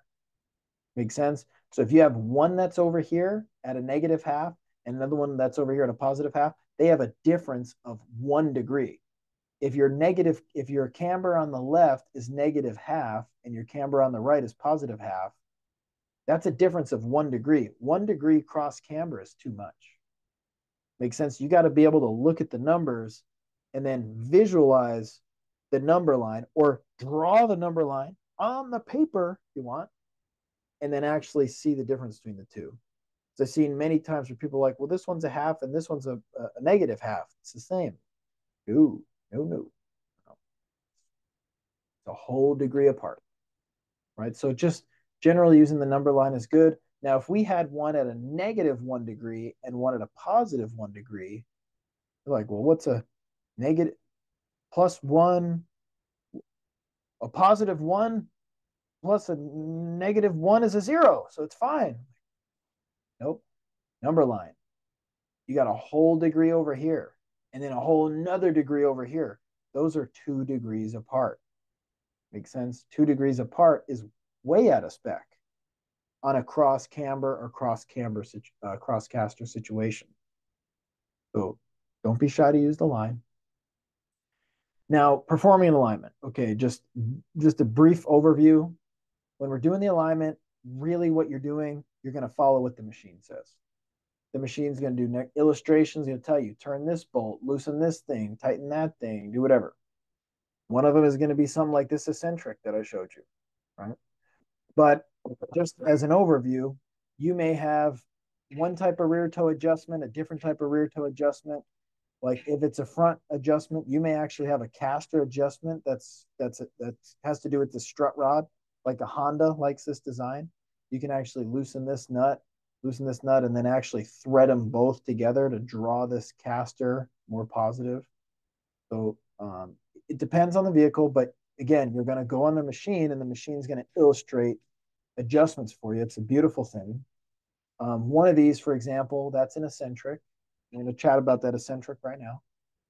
Um, and you can see the you can see the photos, and you can even obtain all the specs from either the website or our machine gets periodic updates. They come and they put a chip in it, and they upload the the latest things onto the chip, so it's accessing that. It's more more or less like a thumb drive um, a USB stick, if you will. And so our machine is going to have a lot of the specs. If you ever had to do a car and the specs weren't in there, you can get the specs from TIS and you can load the specs into the machine yourself.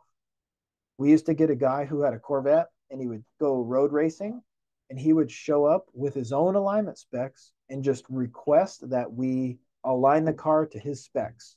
And he would go to different tracks. So depending on where he was going, he would do different specs and different tracks. So that was pretty cool. And you can do that too. Now, before we do the alignment, we need to do the pre-alignment inspection. So we're going to do a universal process, but you'd need to apply it a little more specifically to what you're working on. So let's just give an example. Um, remove any heavy items from the trunk passenger compartments. Now, do not remove any items that are come with the vehicle from the factory, right? So like the Terminix truck, for example, we're not removing the racks and all that stuff because that's what's normally there. But if the customer shows up and they got a bunch of junk in the trunk and you want alignment, we're actually supposed to take the junk out of the trunk according to service info because you don't know if the junk's going to be there normally. And remember, that all affects the ride height, which affects the alignment, the numbers, right? Now, this is one I saw quite a few people practicing alignments, and I didn't see very many people do this. Check all four tires for the proper size and adjust the pressure to spec.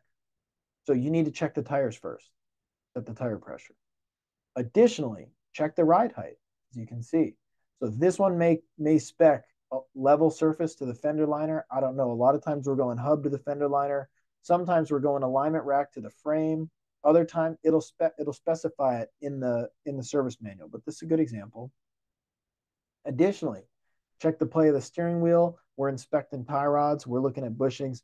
You don't do the alignment if it also needs work. Let's say you have a loose tie rod end. If your tie rod end is loose, you're going to be trying to set the alignment. You're going to get the adjustment perfect but there's looseness. There's looseness in the tie rod. It's going to be like, oh, I got it in spec, and then I bump it, and all of a sudden it's way out of spec, and I bump it and it's in spec, and I bump. You can't do an alignment if stuff is loose. It's just you can't do it. So do all that inspection first. Additionally, jounce the vehicle, check to see if the shocks are good. So we're overall doing a suspension inspection basically.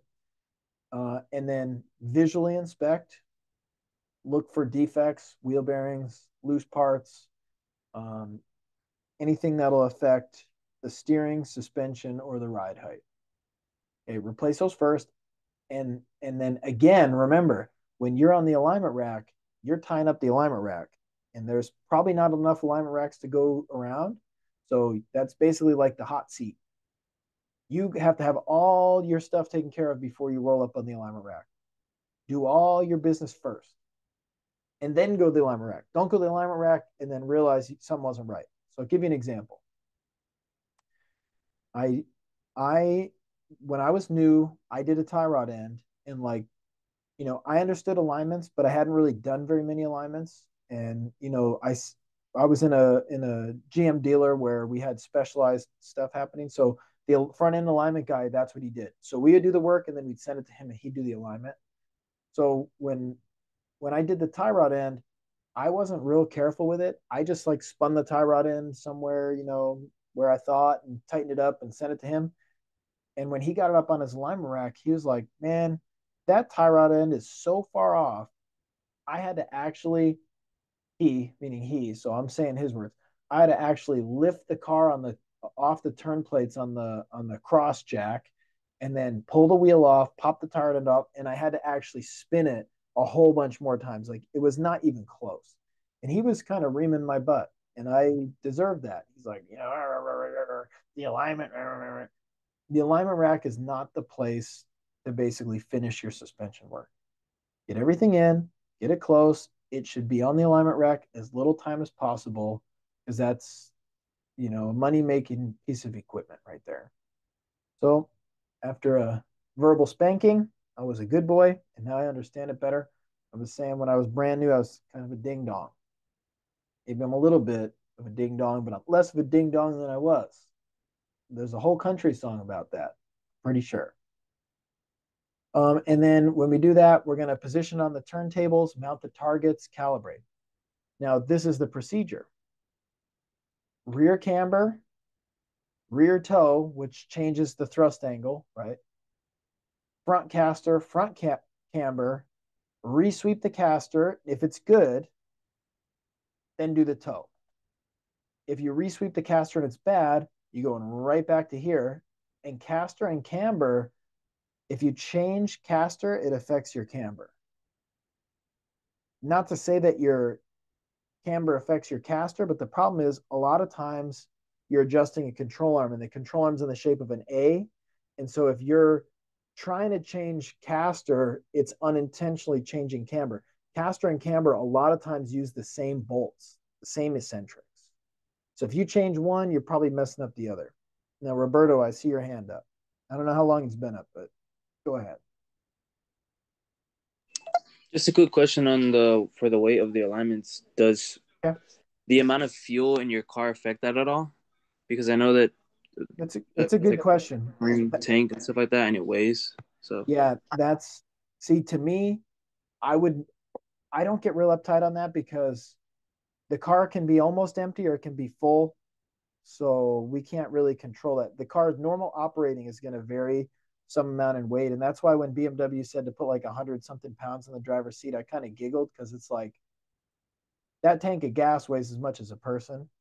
So are we also going to verify the amount of, we're going to fill up the gas before we align it? Or are we going to drain it? You know, so technically you're right. You got the concept, but in reality, it's sort of like an engineer would make a big thing of that because the engineer is going to spend a lot of time on the details and not realize there's an expectation by the customer that that alignment's done in an hour.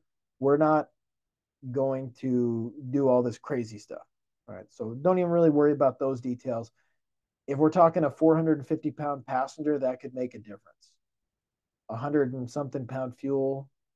Mm, I guess it kind of makes a difference, but we're not going to really worry about it too much. Good question.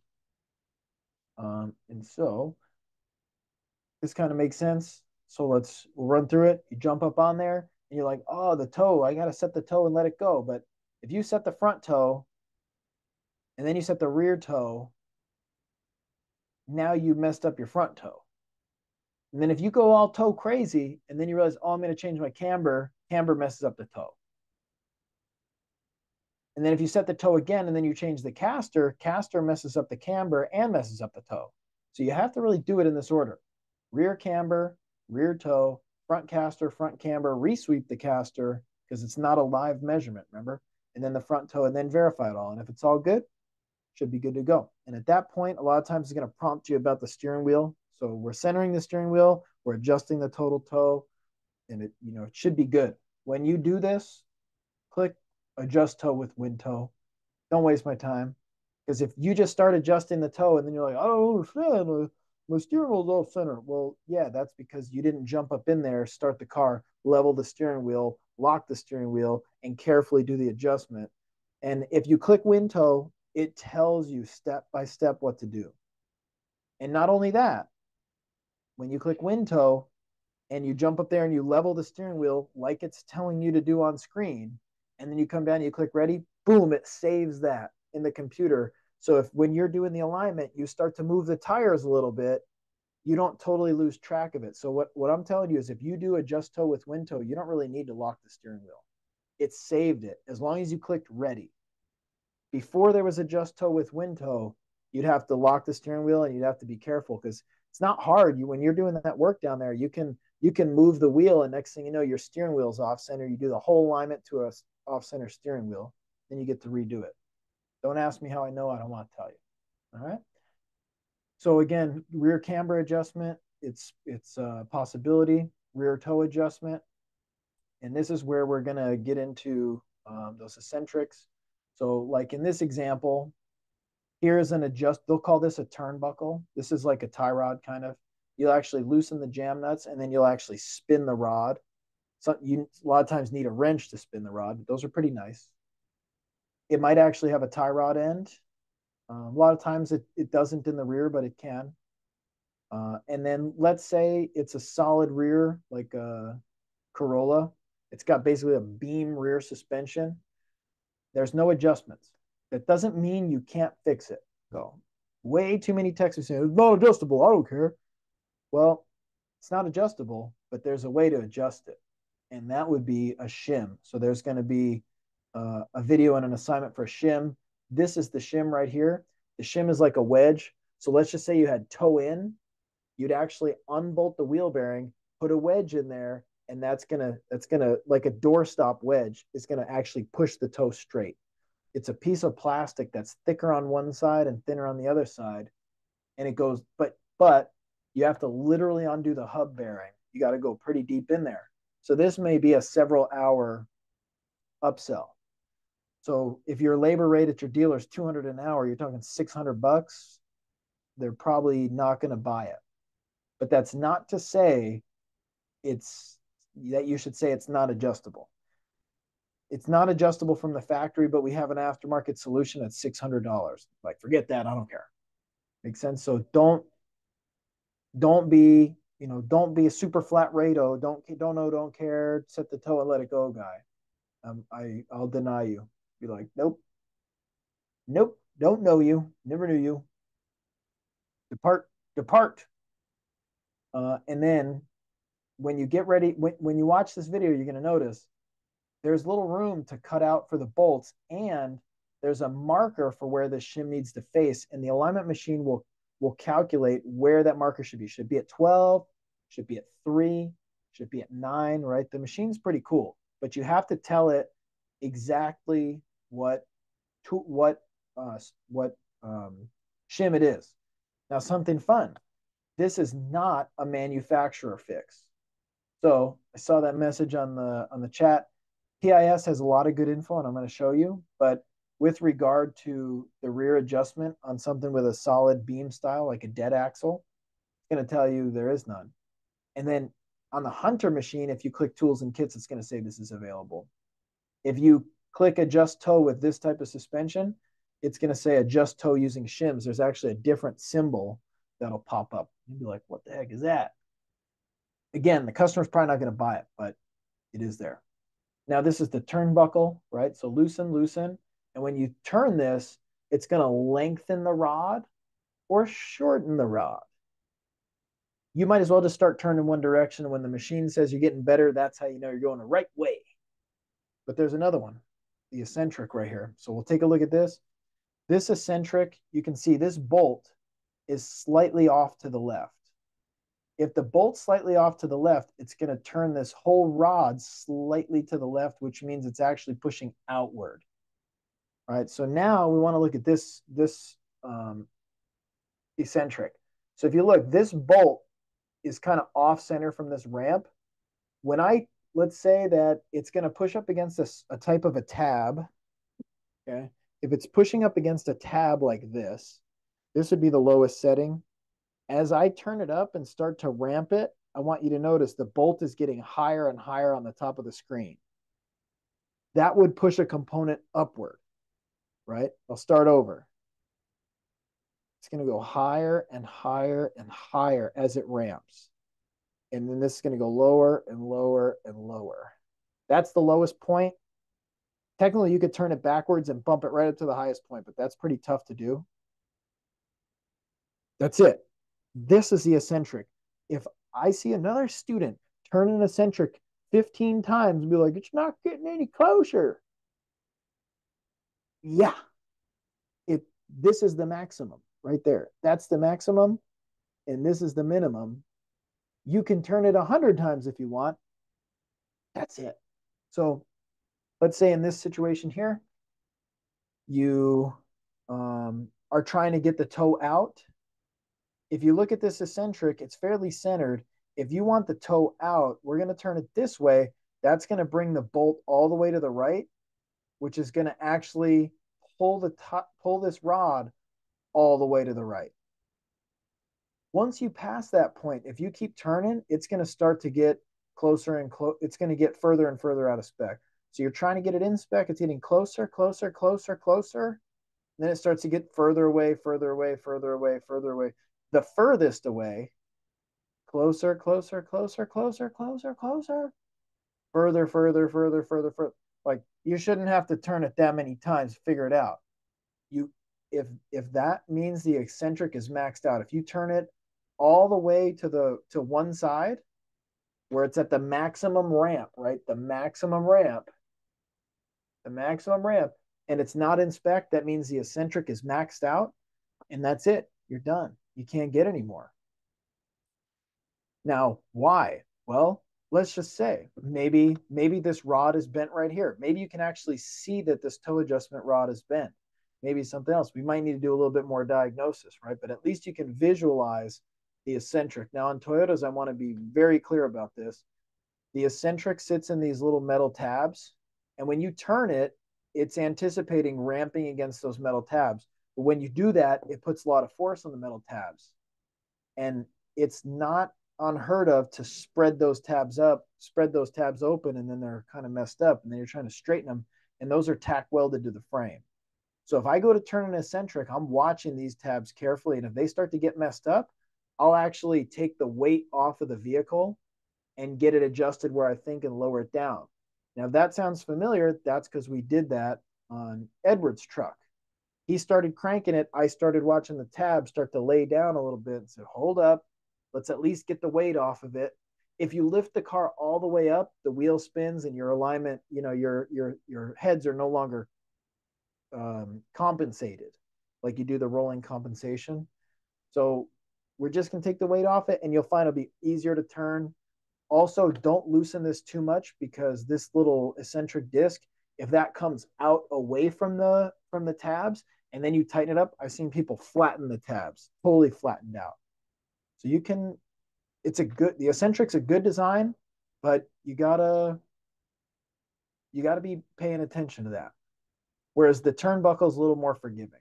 And by the way, the aftermarket mostly will take the eccentrics away and go to a turnbuckle style. I, I put one in on my Tesla. The, the Tesla, the turnbuckle style tends to have more adjustment. This one, if you look at it on the lowest setting to the highest setting, you're talking like maybe a quarter inch of adjustment right there maybe a little more than a quarter, but not much. That's all you get. A turnbuckle could potentially give you an inch or more of adjustment, but it's all in what the manufacturer, you know, puts in from factory.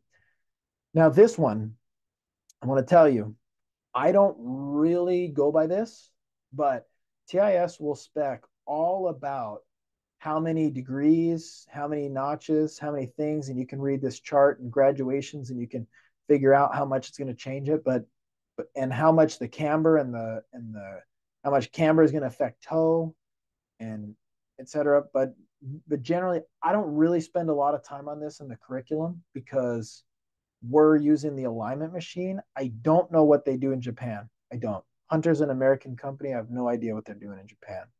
So with us we don't even really look at the service menu for this but it's a nice feature that you can see these little dotted lines remember in our in our demo we made a little mark and then we counted the number of lines and we counted the number of lines. So you can, they're a good reference point, but I don't use this to do the alignment personally. It does show tie rod end though. That's kind of nice. Just showing like if you turn the turnbuckle this way, it's shortening the rod. And if you turn it this way, it's lengthening the rod. Cool. Um, and then here's the eccentrics shown again. So just so you guys can see, the eccentrics have the ability to adjust in all directions. So this is the part that gets a little tricky. If let's say we determine that there's insufficient caster, we need more caster, that would mean we want to pull this ball joint forward. To pull this ball joint forward, we'd actually want to take this eccentric and rotate it to kick the bottom part of the A out. If we kick the bottom part of the A out, it's going to pivot and swing this forward. But while we do that, it's also going to swing it outward, right? So it's going to bring forward of the car, but also outward. So yes, we're increasing our caster, but we also just made our camber more negative. And that's why camber and caster are so related, I'll just say. So if we're trying to swing it forward, we could also draw this part of the of the control arm inward, right? If we pull that in and you picture it, in is going to pull this forward, but it's also going to pull it inward, and that's going to make our caster, our camber, uh, more positive. So we start with caster because caster is the more complex to adjust. And let's say we get our caster dialed, but we let's say that we need this this ball joint. We moved it forward up here, perfect but we need our camber now. And to, to fix our camber, we need the ball joint outward. What we would do, we can make a mark on those little notches and then move this one out, let's say two lines, and then move this one out two lines. If you move them the same amount, it's not going to affect your caster. It's only going to push the ball joint outward. Two lines, three lines, I don't really know. But at least you definitely want to understand which direction the eccentric is going to move the arm. Kind of makes sense? Kind of crazy. All right, last little note on this one. If my camber is good, but my caster is bad, one thing you may try that'll keep you close is let's say that you need to pull this one in one and this one out one, and that's to get your caster more positive. What if you literally make a mark and you draw this in one line and push this one out one line? That should negate very much camber change and give you mostly caster change, but it's not perfect. But at least if you get the concept, you can know. When I get to this point, I ignore the machine. I literally adjust it based on where I figure it needs to be. And then, yes, sometimes you'll see me cheat. I'll walk to the outside of the car. I'll feel where the wheel is with regard to the fender and to the to the front of the door or the bumper and the in the in the rear of the fender. I'll, I'll kind of make sure that I have them centered about the same. And and you know, I'm using all sorts of little little observations that I have. I don't just look at the machine and turn it the way it says because a lot of times the machine thinks you're adjusting the upper control arm when you're adjusting the lower, so it'll tell you to go the wrong direction. And then you'll think you're good, and then you'll resweep the caster and be like, "What the heck? I made it worse. I quit. I'm, I can't do this." And then you just say, "You know what? On every car now, I'm just going to set the toe and let it go." And I believe that's why a lot of techs are like that. I think not only are they lazy, I think they actually gave it a shot and it, they took too much time and it beat them up and they just quit. That's what I really think. So, no, Marty, caster, uh, I mean, uh, eccentrics are used on all sorts of cars, all makes, models. This control arm design is pretty common on Toyota trucks and SUVs. Other vehicles can use it. Other vehicles could use actually an upper control arm with eccentrics, and some even use other types. So this is talking about the Toyota eccentrics. You know, so so Toyota can actually uh, get quite a bit of um, uh, quite a bit of adjustability and you'd actually look at this and you could you could determine how it's going to go based on if you're turning the uh, the up the uh, forward cam or the rear cam. But again, this is the stuff that you're going to see in in service info. Um, I see that. No, both of these eccentrics, both both of them can adjust both camber and caster. I wish one was for camber and one was for caster. It doesn't really work that way. It's all about the positioning of the A. So if I make the A, you can see the A if I need my ball joint over here, I can do that by pushing this one out and pulling this one in, or pulling this one in only, or pushing this one out only. All those would move my ball joint. But unfortunately, if I pull in, it also not only moved it this way, it moved it down. See? So then I might also want to push this one out to get it back up. So it's like basically a three dimensional adjustment of caster and camber all as one. So that's why on this style, when you're adjusting caster, I'm tell you right now, you're pretty much adjusting camber too. You just hopefully can keep track of where you're moving it. Right. And now another fun fact. Um, you've done you've done Camrys, Corollas, and you've heard it said many times, oh well, the manufacturer doesn't specify camber adjustments, so we can't adjust that. Well, this is a Toyota document, and this right here shows you about the bolts. So if you've got this is the uh, this is the original bolt, it's kind of fat, and then an adjustment bolt's actually a little thinner, and it makes uh, some room. You could actually go from the the stock bolt to using a one dot bolt will give you oops, will give you uh, some amount of adjustability. I think it is oh yeah, 15 minutes. See that? 15 minutes is a quarter of a degree. Now, here's why. I'm going to make this into a regular bolt temporarily. And there's a picture that I'm going to show you, but, but just for summary, this bolt goes into a hole. And if, if the hole's this size, there's not much wiggle room. But if you put in a smaller bolt, now see this wiggle room? Now I can actually fine tune the camber a little bit because look, it's going into the, it's the knuckle to the strut.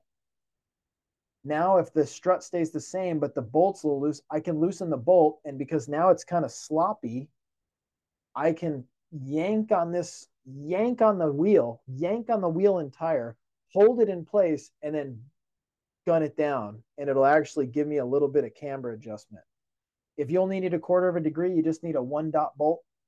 If you need more, you can go to a two dot bolt. A two dot bolt's even smaller. It's a it's even smaller. So now you got more wiggle,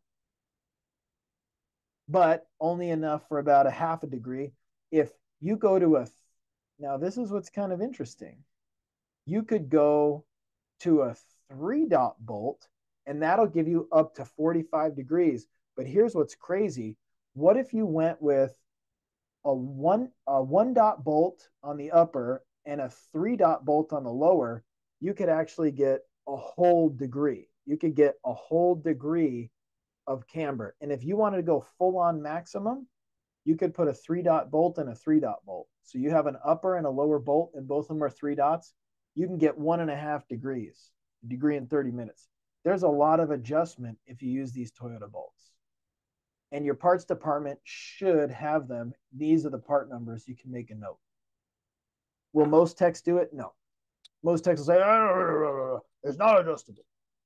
And the reason why, I feel for them. You know where I come from, so I get it. The alignment pays an hour.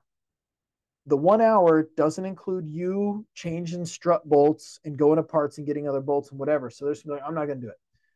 Um, and remember, the dealer, the dealer is good in a lot of ways. It's got the latest and greatest technology. It comes with training, etc but the dealer gets a lot of new customers. Everybody who buys a car from your dealership's a potential customer, especially with Toyota Care.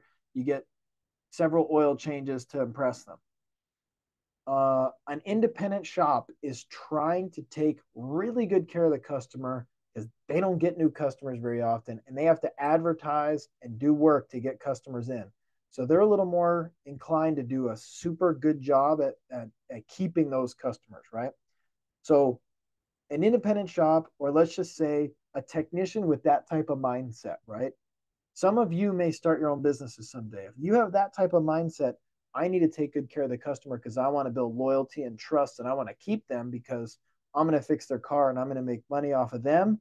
And that's how I'm going to support my family. I'm going to help them do their things so that they can pay me to support my family. That's healthy that's the type of person who's going to actually try to get the camber dialed in and get it fixed. I would bill though. Now don't don't I'm kind of a nice guy. I want to help people, but but not at but not for charity, you know, like there's times where I'll do charitable work, but not really for customers. You know, it, there's a, there's a someday you'll catch on, but there's a saying, you don't muzzle the ox the ox's job is to is to work the mill and go in circles and grind grain. It grinds grain, grinds grain all day. A good owner of the ox will not muzzle the ox, which means when the ox is hungry, the ox can eat some grain.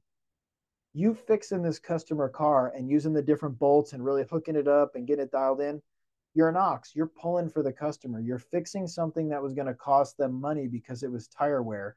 Tire wear costs them money. So if you're going to fix it for them, you'd expect to not be muzzled. Now, if the customer is not willing to pay for it, then we're not going to fix it. And a lot of times, to be honest with you, customers aren't willing to pay for it. They're just be like, ah, all right, cool. But but I would still say at least give them the option. You come up with the price, you go to parts, say, hey, how much for the three dot bolts? How many bolts do you need? And then figure the labor, whatever you think that the labor should be. It shouldn't be all that tough. You could actually probably put those bolts in without pulling the wheel, but uh, you know, come up with a price and try to sell it. If they buy it, cool. And if they don't, you didn't tell them it's not adjustable because that wasn't true. That was that was a lie. It was adjustable. It just isn't adjustable for free. Cool. And with those parts, you need parts and you need labor. then this is another example of the eccentric you can see this eccentric uh, bracket is a little more beefy than some of the Toyota ones. This one's welded on the back. Looks pretty beefy.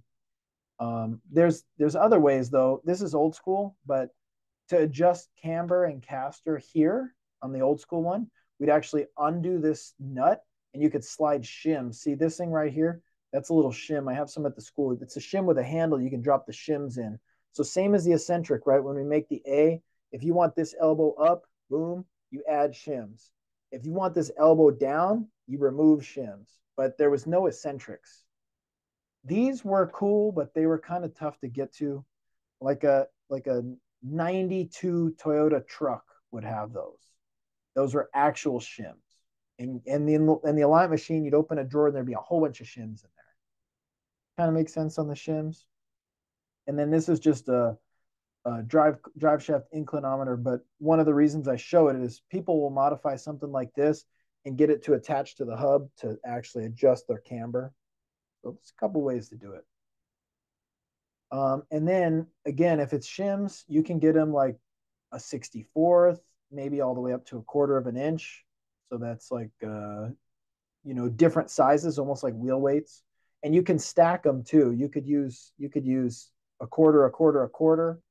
There might be a limit, but you can use more than one shim. Um, and they're not really, they're not real common.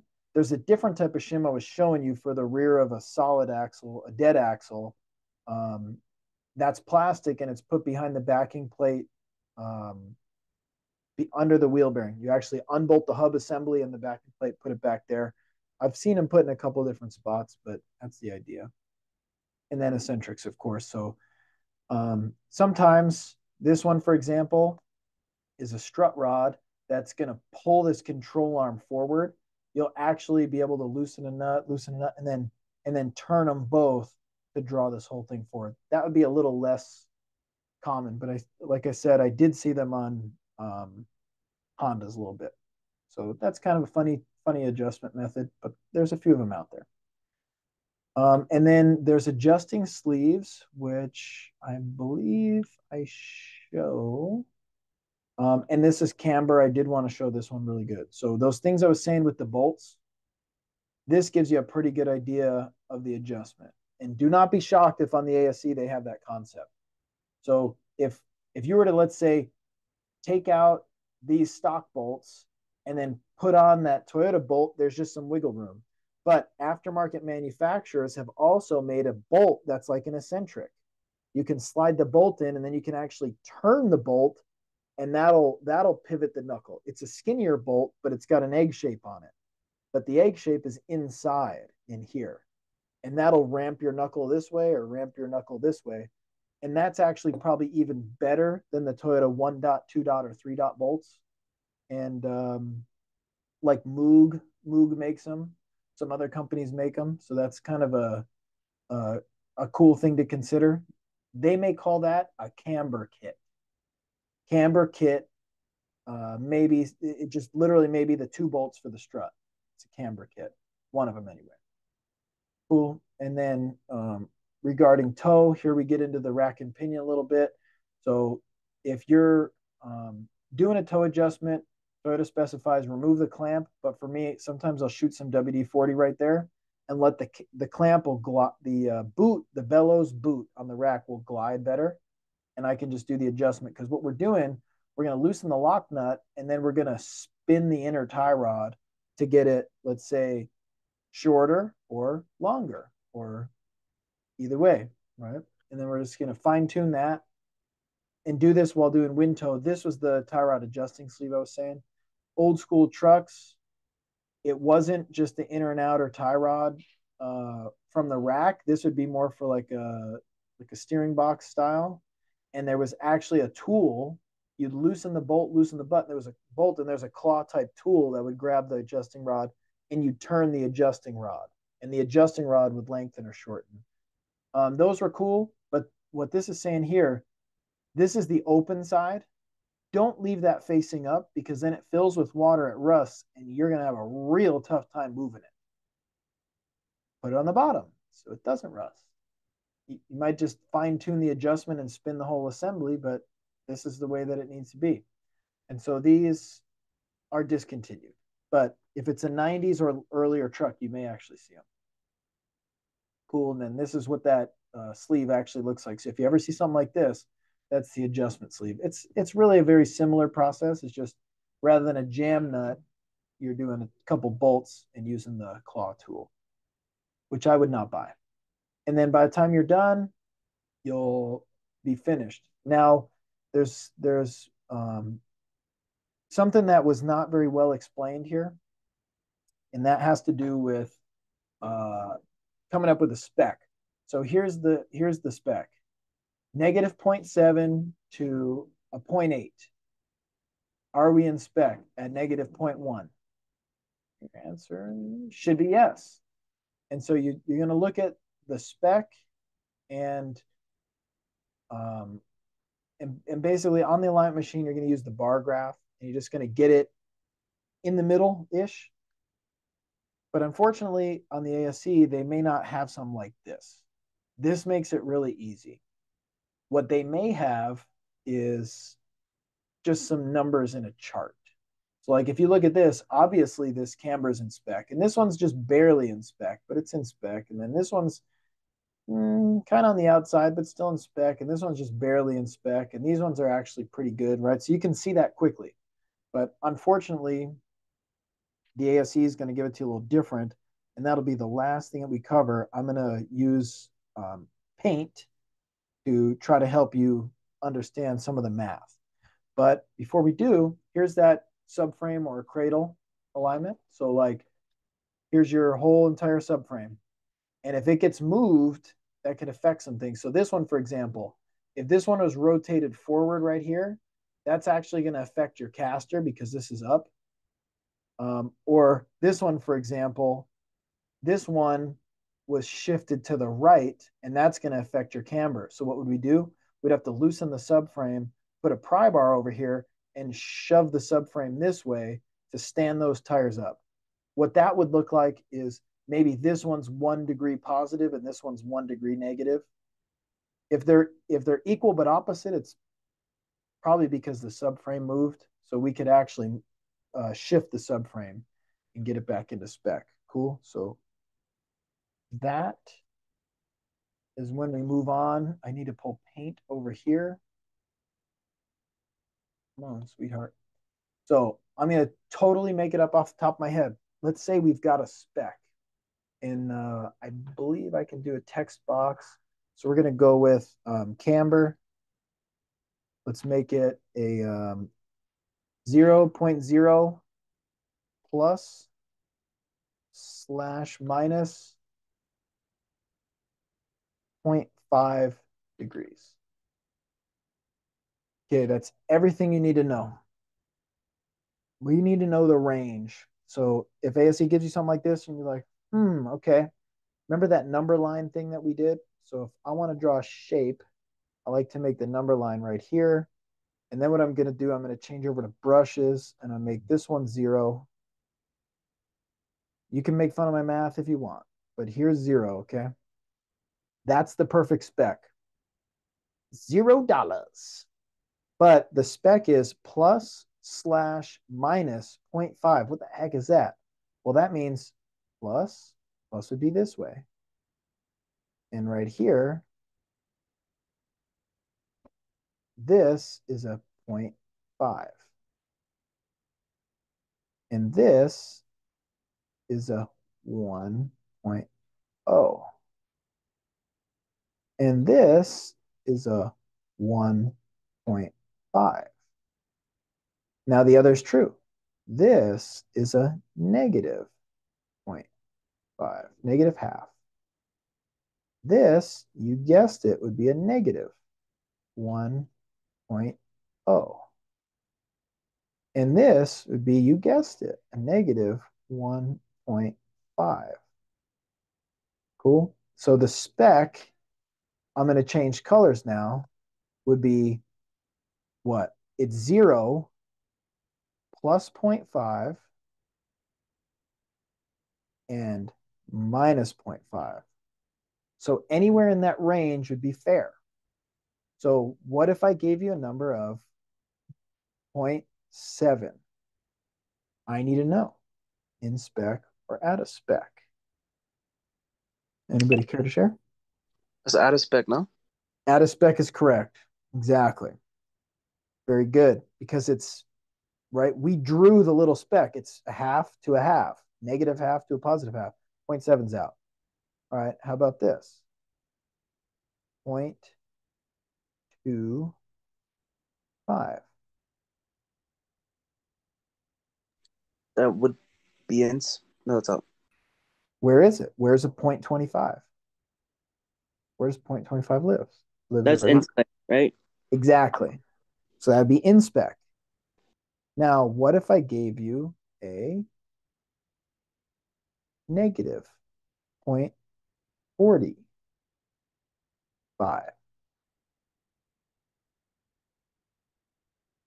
Where's that live?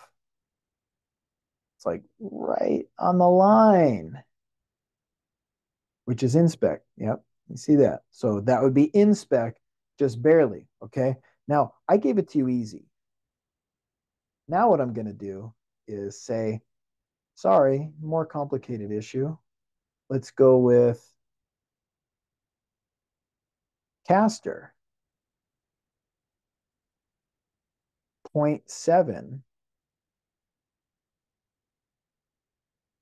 Actually, we're going to do, how about a, yeah, 0.7.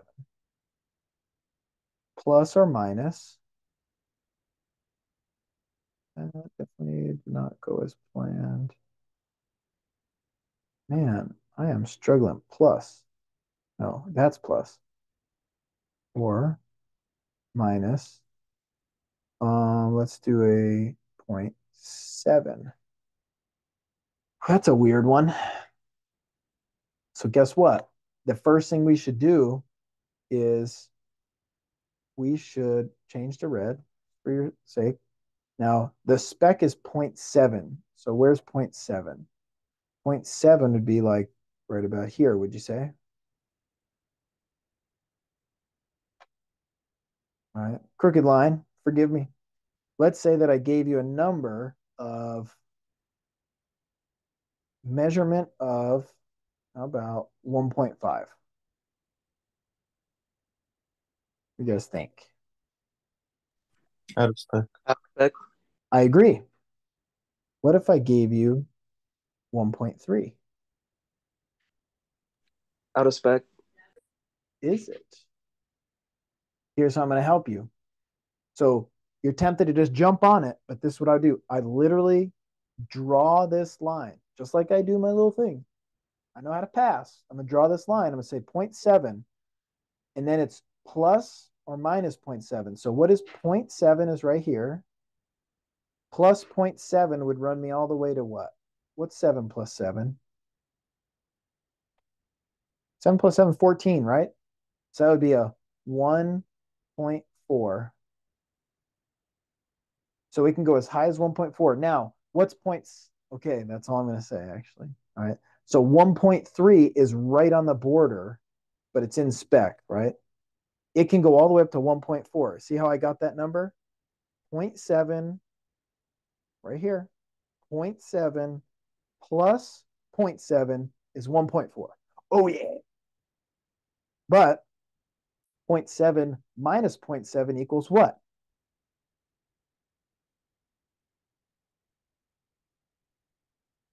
What's 0.7 minus 0.7? Zero. Exactly, zero. So this range is zero to 1.4. So if I gave you a negative 0.2 in spec or out of spec? Out of spec. Exactly, because our range is zero to 1.4. Exactly. That's how you do it. Now I'll give you a worse one, okay? Because I was pretty nice to you so far, but I'm not gonna be that nice anymore. Let's say we've got a let's cross this one off now. Let's go with a how about a camber of 0.6 plus or minus 0.8. Okay. Again, I'd start with this line. And if I told you, I'm going to give you guys a little bit of a tough one right now. If I told you, um, in fact, let me let me draw three, and then I, I want you to think about them. Point well, uh, or sorry, 1.1 negative 0.1 negative 0.3.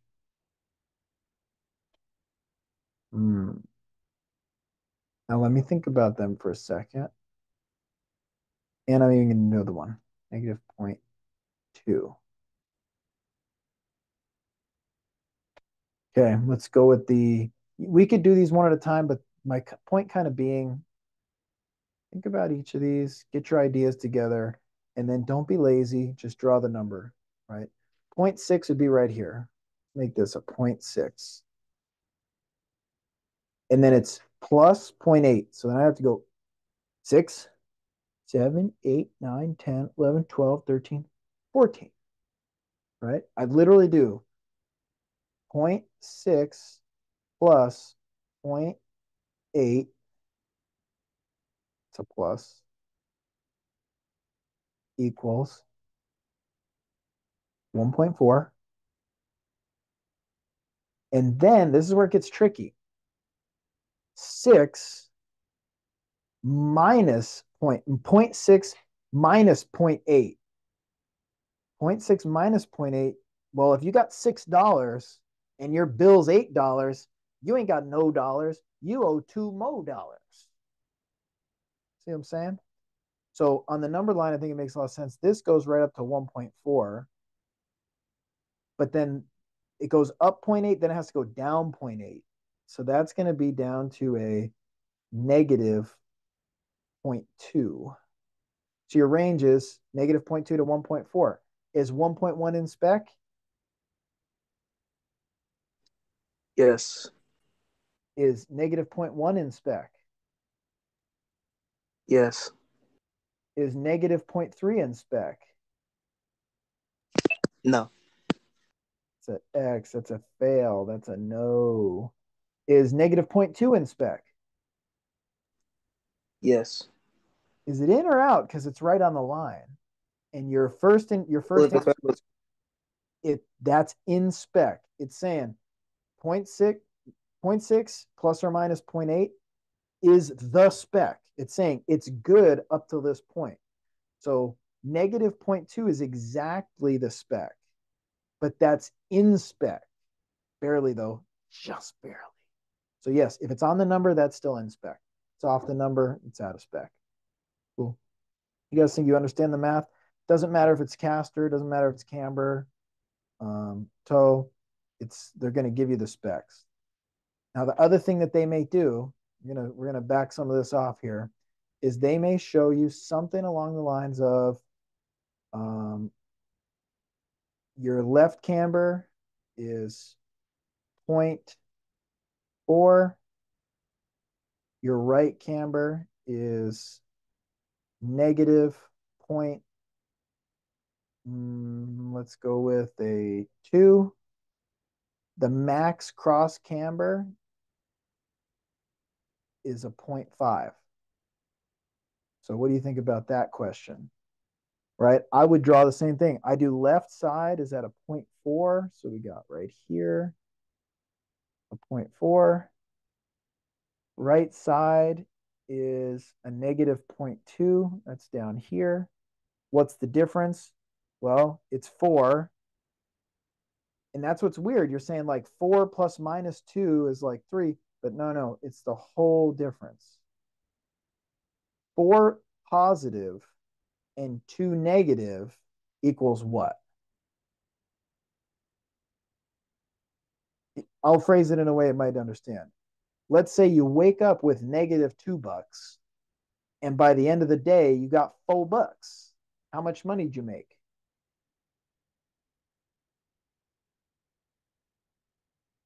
You you had negative two now you got four so you got at least four but you got six dollars yeah. So the difference between these two numbers is six but the max is 0.5 see how that's out of spec if the max is 0.5 the difference is 0.6 this is this car would be a problem. They may ask, is it in spec or out of spec? And you're like, I don't freaking know. It's 0.4 and negative 0.2 at the max of 0.5. Draw it out. Draw it out. Make sense? So uh, one plus or minus three. You could do one plus or minus three. So, but do you guys understand how we came up with the six, right? Because this card be at a spec. And they could even go a level further and say, you know, if a car pulls, what's causing the pull, then it's your job to find out what's in spec or out of specs. This one would be like, oh, whatever this is, if it was camber, you'd know like, okay, the camber's out of spec. If they're showing you a chart and something's out of spec, you should be able to catch it and you should know if camber's out of spec, what's it going to cost. Then you do this 0.4 positive, negative 0.2. Yeah, heck yeah, that car's pulling to the left. Not only because it's different, but because it's got a maximum of a half a degree allowable difference, and you got a 0.6. That's fail. It's a fail and it causes a pull. Cool. So Daniel said one plus or minus three. That'd be kind of a crazy one. If you did a one plus or minus a three, let's go to that. Let's say it was one degree plus or minus a three. That would say your ideal is right here, but then you can go up three and you can go down three. That's a lot. What's one plus three? It'd be a four. What's one minus three? Running way over here. What's one minus three? Your range on that one would be a negative two to a positive four. It's a huge range. So you can figure out the range. They're just going to give you the specs. You can draw it on the number line. Being chilling, no biggie. All right. So how do you guys feel? We will cover math one more time, um, but that's going to be during advanced alignments. This is at least going to, I want you guys to start chewing on this a little bit, chewing the cud, as they say consider this. And then uh, tomorrow um, we'll do quite a bit more lab work. So people get on there and do some more alignments, but don't just focus on, how, you know, you got a, a week early demo to how to use the machine. Now I want you to know what you're adjusting, why you're adjusting it, how it's going to affect it, what's the spec, what's your target, how far, how high can you go, how low can you go. See what I'm saying? So now I want you to really clamp down on some of this alignment stuff. Roberto, go ahead. I'm confused on the one that you just wrote down. You said you said it was one plus or minus point three. Yeah, so Daniel just put in the chat if the, spec was, if the spec was one, here's your spec, right? This is perfect. This would be ideal. But it's got a big allowable tolerance. It's saying one is perfect, but like you can go up to three more and you can go up to three minus. So that means one's good, but you can go all the way down to negative 0.2 and all the way up to positive 0.4. That'd be like a big wide window. I don't know if that's a real spec or just making it up. We can make numbers up all day. Wouldn't it have to be 3.0, not 0.3 for it to go to 4? It oh, this is supposed to be a minus. I see how I got you. That is that is a minus symbol right here. I got you. See that? Does that make more sense? Yeah. It's a it's a I should have typed it. I kind of knew. One plus or minus three. That's what I meant to say. Cool. So yeah, I think you guys got this. You can do some more work on it, but uh, overall, I think you're pretty decent. If you're nervous about it, you can skip ahead to the A4 prep, and I do have some questions like this that you can um, work on. So with that, that's the end of our lecture. I'm going to get the uh, I'm going to get the um, Kahoot rolling. Madi, give me one second. Is it? Yeah, Madi, go ahead. See if it'll help the lecture. Uh, I just want to ask about the eccentrics that you talked about. Okay. So I understand the concept behind the A thing that you said about the control arm. However, I didn't get how could you tell on which side you want to turn the eccentric if you want to do this or this? Like, do you, should you try it on the car? or? I see.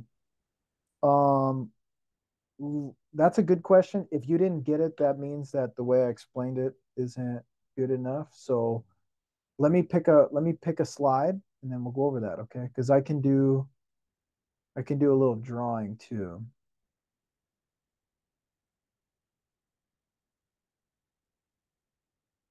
Okay, that eccentric was all right. Um, those eccentrics weren't. No, I must have I must have passed it. Eccentric. Okay, this one's probably the best one I got. Now let me jump into the paint tools, annotate. I think I can do some painting. So Madi, this is the center line right here. See this? Let's just say that I want this rod to go outward this way. Cool, that way. What I would do is I would turn this this way because as you can see, if I turn it to the left, this bolt is going to come over here. See that? If the bolt's going to come over here, it's going to push the rod out. If I wanted to push it the other way, let's go with, I'm going to pick another color. Let's go with red. If I wanted to push this rod this way, then I would then I would turn the bolt clockwise because it's going to bring the bolt more centered, more more more on this right side. If I'm bringing the bolt in the right side, it's pulling the rod to the right side. See what I'm saying? So you're looking at where the bolt is, and we're going to try to move it inside or outside. Cool. So that's and that's why I pulled this one off. This has always been tough for me to demonstrate to get people to understand. And so I I literally took this off of Audi suspension like that's when class was starting. So cool. Good good question. If anybody else got a question, shoot it. Otherwise, we're gonna call it and I'll put the um we'll do the lecture quiz. Your favorite. All right, I think we're safe to say. I'm going to uh,